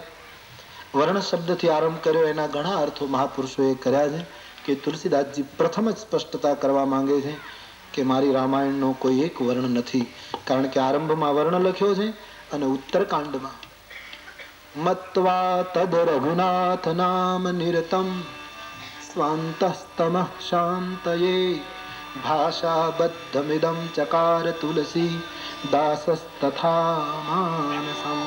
પુણ્યમ પાપહરમ સદા શિવકરમ વિજ્ઞાન ભક્તિ પ્રદમ મોહ માયા મોહમલાપહમ સુવિમલમ પ્રેમાંબુપૂરમ શુભમ શ્રીમદ રામચરિત્રમાનસમિદમ ભક્ત્યાવગાહંતિ યે તે સંસાર પતંગ ઘોર કિરણે દહયંતિનો માનવાહ અંતમાં માનવ શબ્દ પહેલો વર્ણ એટલે ગોસ્વામીજીએ કહ્યું મારા શાસ્ત્રનો વર્ણ માનવ છે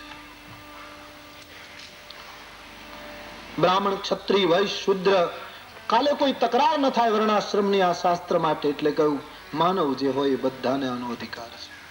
એટલી મોટી વિશાળ દ્રષ્ટિથી ગ્રંથનો આરંભ કર્યો છે. બીજા મંત્રમાં, શ્રદ્ધા અને વિશ્વાસના સાક્ષાત સ્વરૂપ એવા શિવ અને ભવાનીની વંદના કરી.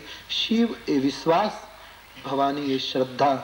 બંને પતિ પત્ની છે. ગોસ્વામીજી કહે, આપણી શ્રદ્ધા અને વિશ્વાસ શિવ અને પાર્વતીની જેમ જોડાયેલા ન હોય આપણા હૃદયમાં, ત્યાં સુધી યોગીઓને પણ હૃદયમાં બેઠેલો ઈશ્વર નથી દેખાતો. સામાન્યને ક્યાંથી દેખાય? પરમાત્મા છે, પણ યોગીઓ અનુભવ ન કરી શકે જો શ્રદ્ધા અને વિશ્વાસ યાભ્યામ વિનાન પશ્યંતે. આ બંને વગર યોગીઓને પણ પ્રભુ દર્શન નથી થતા, તો શ્રદ્ધા અને વિશ્વાસના સાક્ષાત પ્રતીક એવા શિવ અને ભવાનીની વંદના કરી. વંદે બોધમયમ નિત્યમ. ગુરુમ શંકર યમાશ્રિતો હિ વક્રોપી ચંદ્ર સર્વત્ર વંદ્યતે સમષ્ટિના ગુરુ ભગવાન શંકરની આ રીતે વંદના કરી આગળ સીતારામ ગુણ ગ્રામ પુણ્યારણ્ય વિહારિણો વંદે વિશુદ્ધ વિજ્ઞાન કવીશ્વર કપીશ્વર આદિ કવિ વાલ્મીકીજી અને હનુમાનજીને વિજ્ઞાન સ્વરૂપ માનીને તુલસીદાસજી હનુમાનજી અને વાલ્મીકીજીને વંદના કરી ઉદ્ભવ સ્થિતિ સંહારકારિણી ક્લેશહારિણી સર્વશ્રેયસ્કરી સીતા નતોહમ રામ વલ્લભા સૃષ્ટિને ઉત્પન્ન પાલન અને કરનાર પરમ અંબા પરમાદ્ય શક્તિ જગજનની સીતાજીની વંદના કરી યન્માયા વશવર્તિ વિશ્વમખિલમ બ્રહ્માદિ દેવાસુરા જેની માયાને આધીન બ્રહ્માદિ તમામ દેવતાઓ આધીન સમગ્ર વિશ્વ જેમાં બંધાયેલું છે જેની કૃપા વગર અંદરથી છૂટવું મુશ્કેલ છે એ પરમાત્મા રામભદ્રની પરમાત્મા રામની તુલસીદાસજીએ વંદના કરી નાના પુરાણ निगमागमसम्मतं यद् रामायणे निगदितं क्वचिदन्यतोऽपि स्वान्तः सुखाय तुलसी रघुनाथ गाथा भाषा निबन्धमतिमञ्जूय માતનોતી. તુલસીદાસજીએ છેલ્લા મંત્રમાં એમ કહું, ટૂંકમાં કહું છું, શાસ્ત્ર, પુરાણ, ઉપનિષદ, વેદ, આ બધાની સંમતિ વાળો આ ગ્રંથ છે. કોઈની સાથે મતભેદ કરીને આ ગ્રંથ રચવામાં આવ્યો નથી, બધાની સંમતિ વાળો ગ્રંથ. પણ છતાંય તુલસી કહે થોડું બીજું પણ અંદર નાખવામાં આવ્યું છે. અને એ જે બીજું, એ સંત મત. રામાયણમાં સંત મત ખૂબ લખ્યો છે. વેદ શાસ્ત્રનો મત છો છે પણ અને સંત મત હંમેશા સર્વકાલિક હોય. વેદ મત તો પૂર્વગ્રહથી પણ બીજા ધર્મ ને માનનારા કદાચ ના પાડે, કે અમે વેદને નથી માનતા. સર્વગ્રાહ્ય હોવા છતાંય પોતાની જડતા માટે પણ લોકો ના પાડે, કે અમે વેદને નથી કબૂલ કરતા. પણ સંત મતને કોણ ઠુકરાવે? તેથી રામાયણમાં સંત મત છે. એ રામાયણની મહત્તા એમ રામાયણમાં સ્પષ્ટ લખ્યું છે. ગોસ્વામીજી સંત મતને બહુ આદર આપતા બોલ્યા છે ઇહાન પક્ષ પાતુ કછુ રાખો વેદ પુરાણ સંત મત ઇહાન પક્ષ પાતુ કછુ રાખો વેદ પુરાણ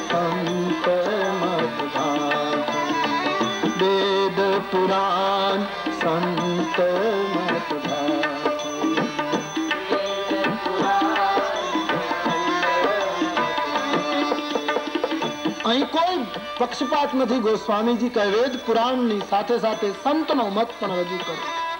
એટલે રામાયણમાં સંત મત એ તુલસીજીનું સર્જન છે અને આ બધાની પાછળ હેતુ સ્વાંત સુખાય. તુલસી રઘુનાથ ગાથા, મારા અંતઃકરણને સુખ મળે એટલા માટે આ કથા છે એમ કહીને કથાનો આરંભ પ્રાકૃત ભાષામાં શરૂ કરે છે. પાંચ સોરઠાથી કથાનો આરંભ થાય છે. प्राकृत પ્રાકૃત ભાષામાં ગણપતિજીથી શરૂ થાય છે. પણ એ में प्रवेश करता पहला आइए सब भाई बहन कुछ समय के लिए હરિનામ સંકીર્તન કરે. રામાયણનો મૂળ ઉદ્દેશ છે ही મહા રઘુપતિ નામ ઉદારા. इसलिए सब प्यार से एक मैं अपील करूँ आपको प्रार्थना करूँ कि भूल जाइए लंदन को चलिए हमारे साथ भारतवर्ष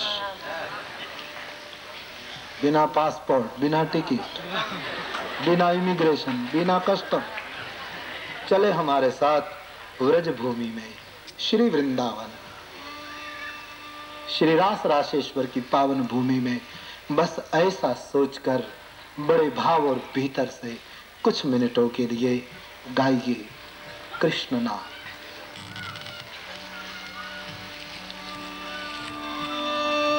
અમે કૃષ્ણ, હું ઘણી વખત કથાઓમાં પણ કહું કે કૃષ્ણ આવે એટલે પછી કૃષ્ણનું કામ જ પકડવાનું છે, પછી છોડે ને મારે હું ઘણી વખત રામાયણમાં પણ એમ કહું કથામાં કે અમે તો દ્વારકાના માણસો ના. સૌરાષ્ટ્ર એટલે દ્વારકાધીશની ભૂમિ. એટલે અમે ખાઈએ દ્વારકા વાળાનું ગાઈએ અયોધ્યા વાળાનું એવું. રોટલો દ્વારકા વાળાનો ખાઈએ છીએ. કારણ કે એની ભૂમિમાં રહીએ છીએ. અને અન્ન એનું ખાવાનું પાણી શંકરનું પીવાનું ગંગા अन्न द्वारिकेश का जल शिव का और गान श्री अवध का रघुवंश का ये समन्वय है ये त्रिवेणी है ये संगम है तो आइए चले द्वारिकाधीश को याद करें उसके मूल वतन में प्रवेश करें श्री वृंदावन धाम। भाव और श्रद्धा के साथ भूलिए लंदन को और आइए व्रजभूमि हे गोविंद, हे गोपाल, भाव से गाइए।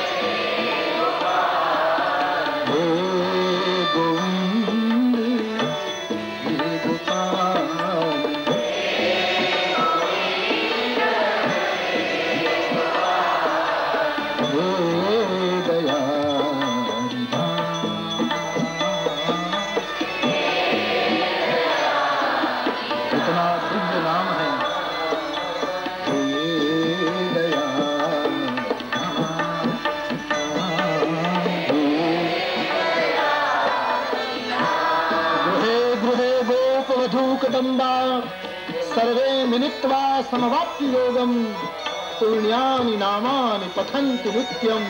गोविन्द दामोदर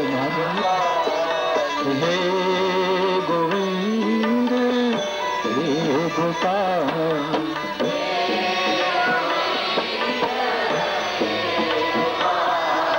मैंने ऐसा सुना है, शायद आपने सुना हो।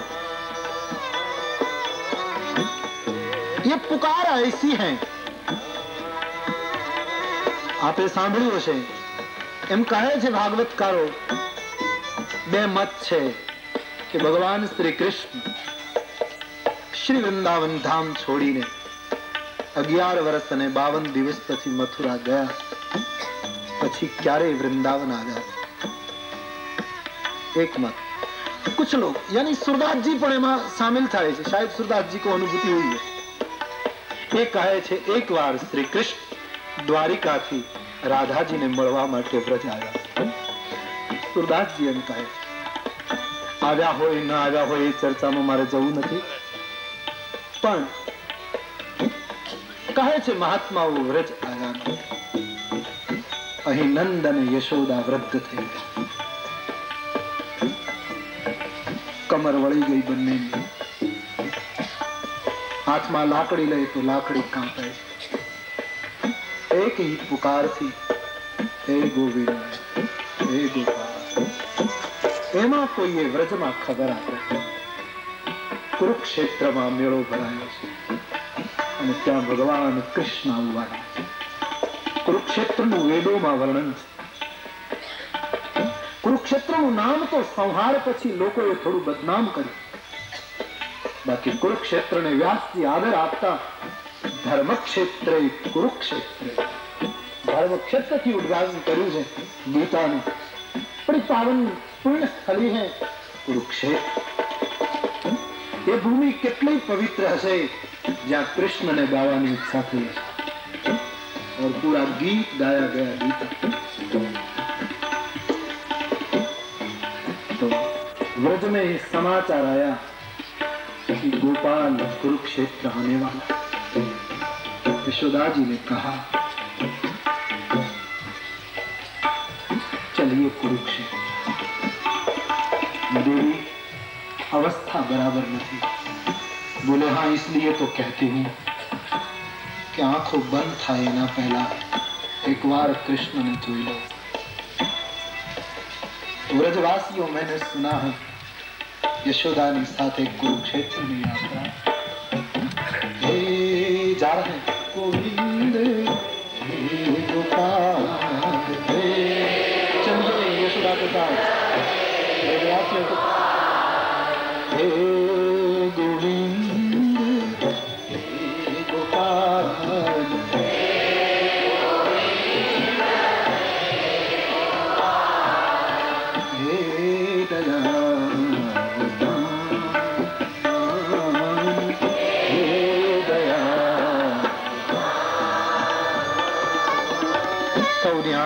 સૌની આંખમાં આંસુ છે હમ, बहुत છે વ્રજ ભૂમિ में आए કુરુક્ષેત્રમાં આવે આજ પણ કુરુક્ષેત્રમાં જ્યારે સ્નાન થાય છે ત્યારે કેટલી ભીડ થાય પૂરા ભારત વર્ષ મિલા થા કુરુક્ષેત્ર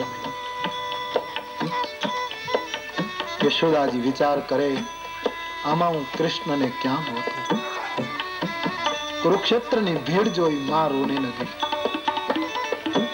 વ્રજની સ્ત્રીઓએ યશોદાને સમજાવ્યા, માં આપણે ગોતવો નહીં પડે.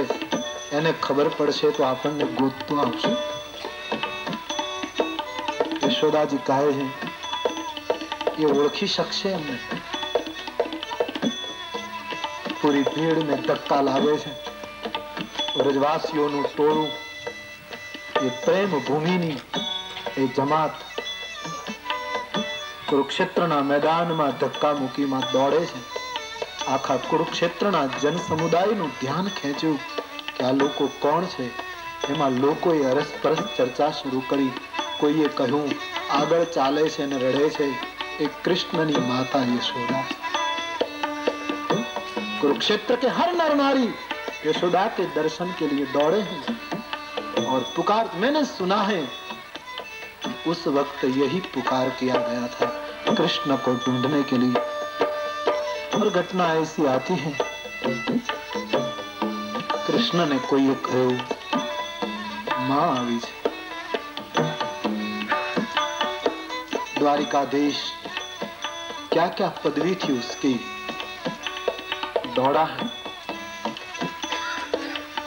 યશોદાજી અને વ્રજવાસીઓનું ટોળું આવે છે આંખે બંધથી કોઈ દિશાનો ખ્યાલ નથી કઈ દિશામાં જઈએ છીએ एक જ ख्याल હતો कृष्ण की पुकार और इस पुकार में सब चले जा रहे हे गोविंद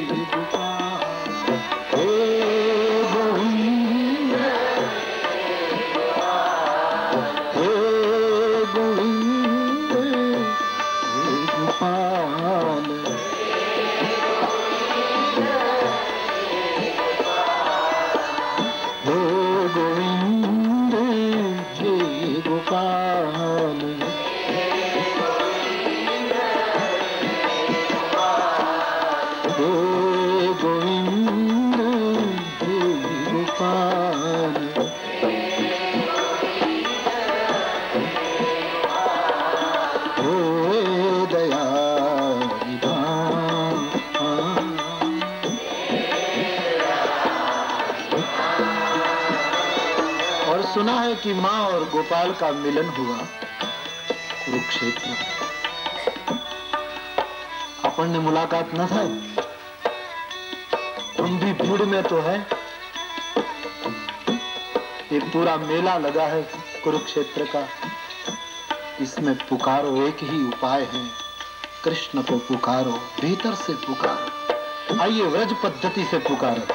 व्रज की जो पद्धति है ना पुकारने की, हमारे साथ सब ऐसे पुकारो। दोनों हाथ ऊर्ध्व बाहू करके। आपने दोनों हाथ ऊपर उठाकर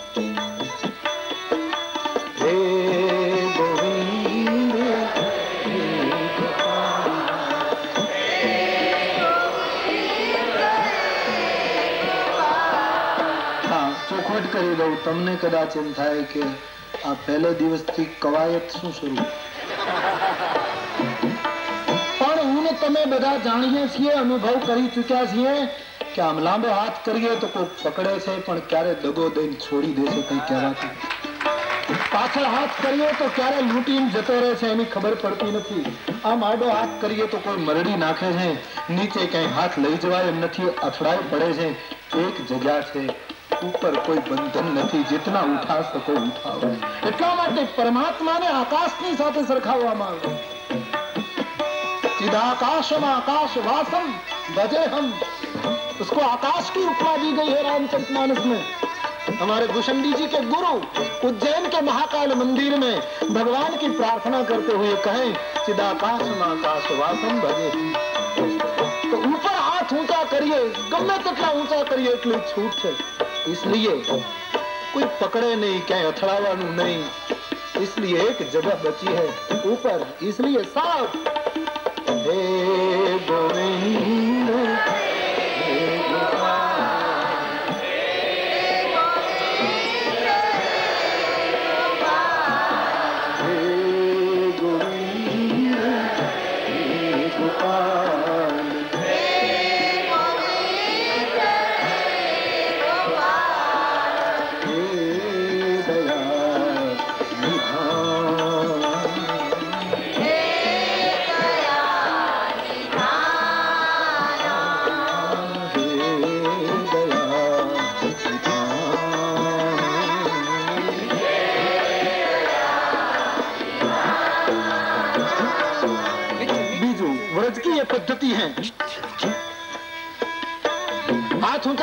ઊંચા કરવાનો એક બીજો અર્થ છે વ્રજમાં બાળક રડતું હોય અને એની માં એને તેડે નહીં પછી બાળક હાથ ઊંચા કરે સાડી પકડે ખેંચે આમ ઊંચો થાય મને લે મને ઉઠાવ મને હૃદય લગાડ ये व्रज का राधा भाव है प्रभु तो व्रज के साधु कहते हैं हम तुम्हें ऐसे पुकारते हैं हम ऊपर उठने में शक्तिमान नहीं तुम हमको उठा हम में केवल इतनी शक्ति है कि हाथ उठा सकते हैं આંખ તો અમે ઊંચી કરી શકતા નથી કારણ કે નીચે જ નજર રાખી હલકું જ જોયું છે हाथ ऊपर उठावा છે तुम हमको उठा ये व्रज भाव है इसलिए व्रज के साधु रमण रेती के महात्मा लोग अपने दोनों हाथ ऊर्ध्व बाहु करके इस भाव में आकर हे गोविंद,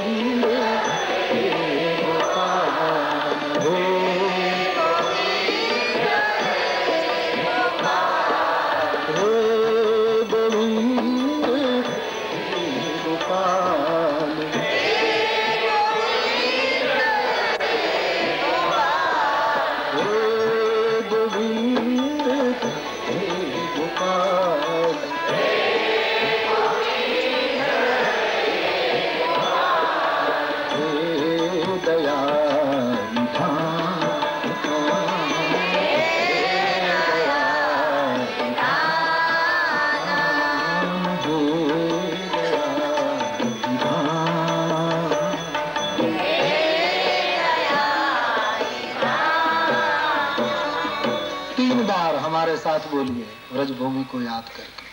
मैं बोलूँ, उसके बाद आपको बोलना है। ऊर्ध्व बाहु करके। मेरे पीछे तीन बार व्रज को पुनः बार बार याद दिलाता हूँ व्रज भूमि को याद करके, जमुना जी को याद करके, कदम की डाली को याद करके, रास रासेश्वर को याद करके, नंद गाँव को याद करके, तीन बार भाव से बोले, जय जय श्री राधे। जय जय श्री राधे।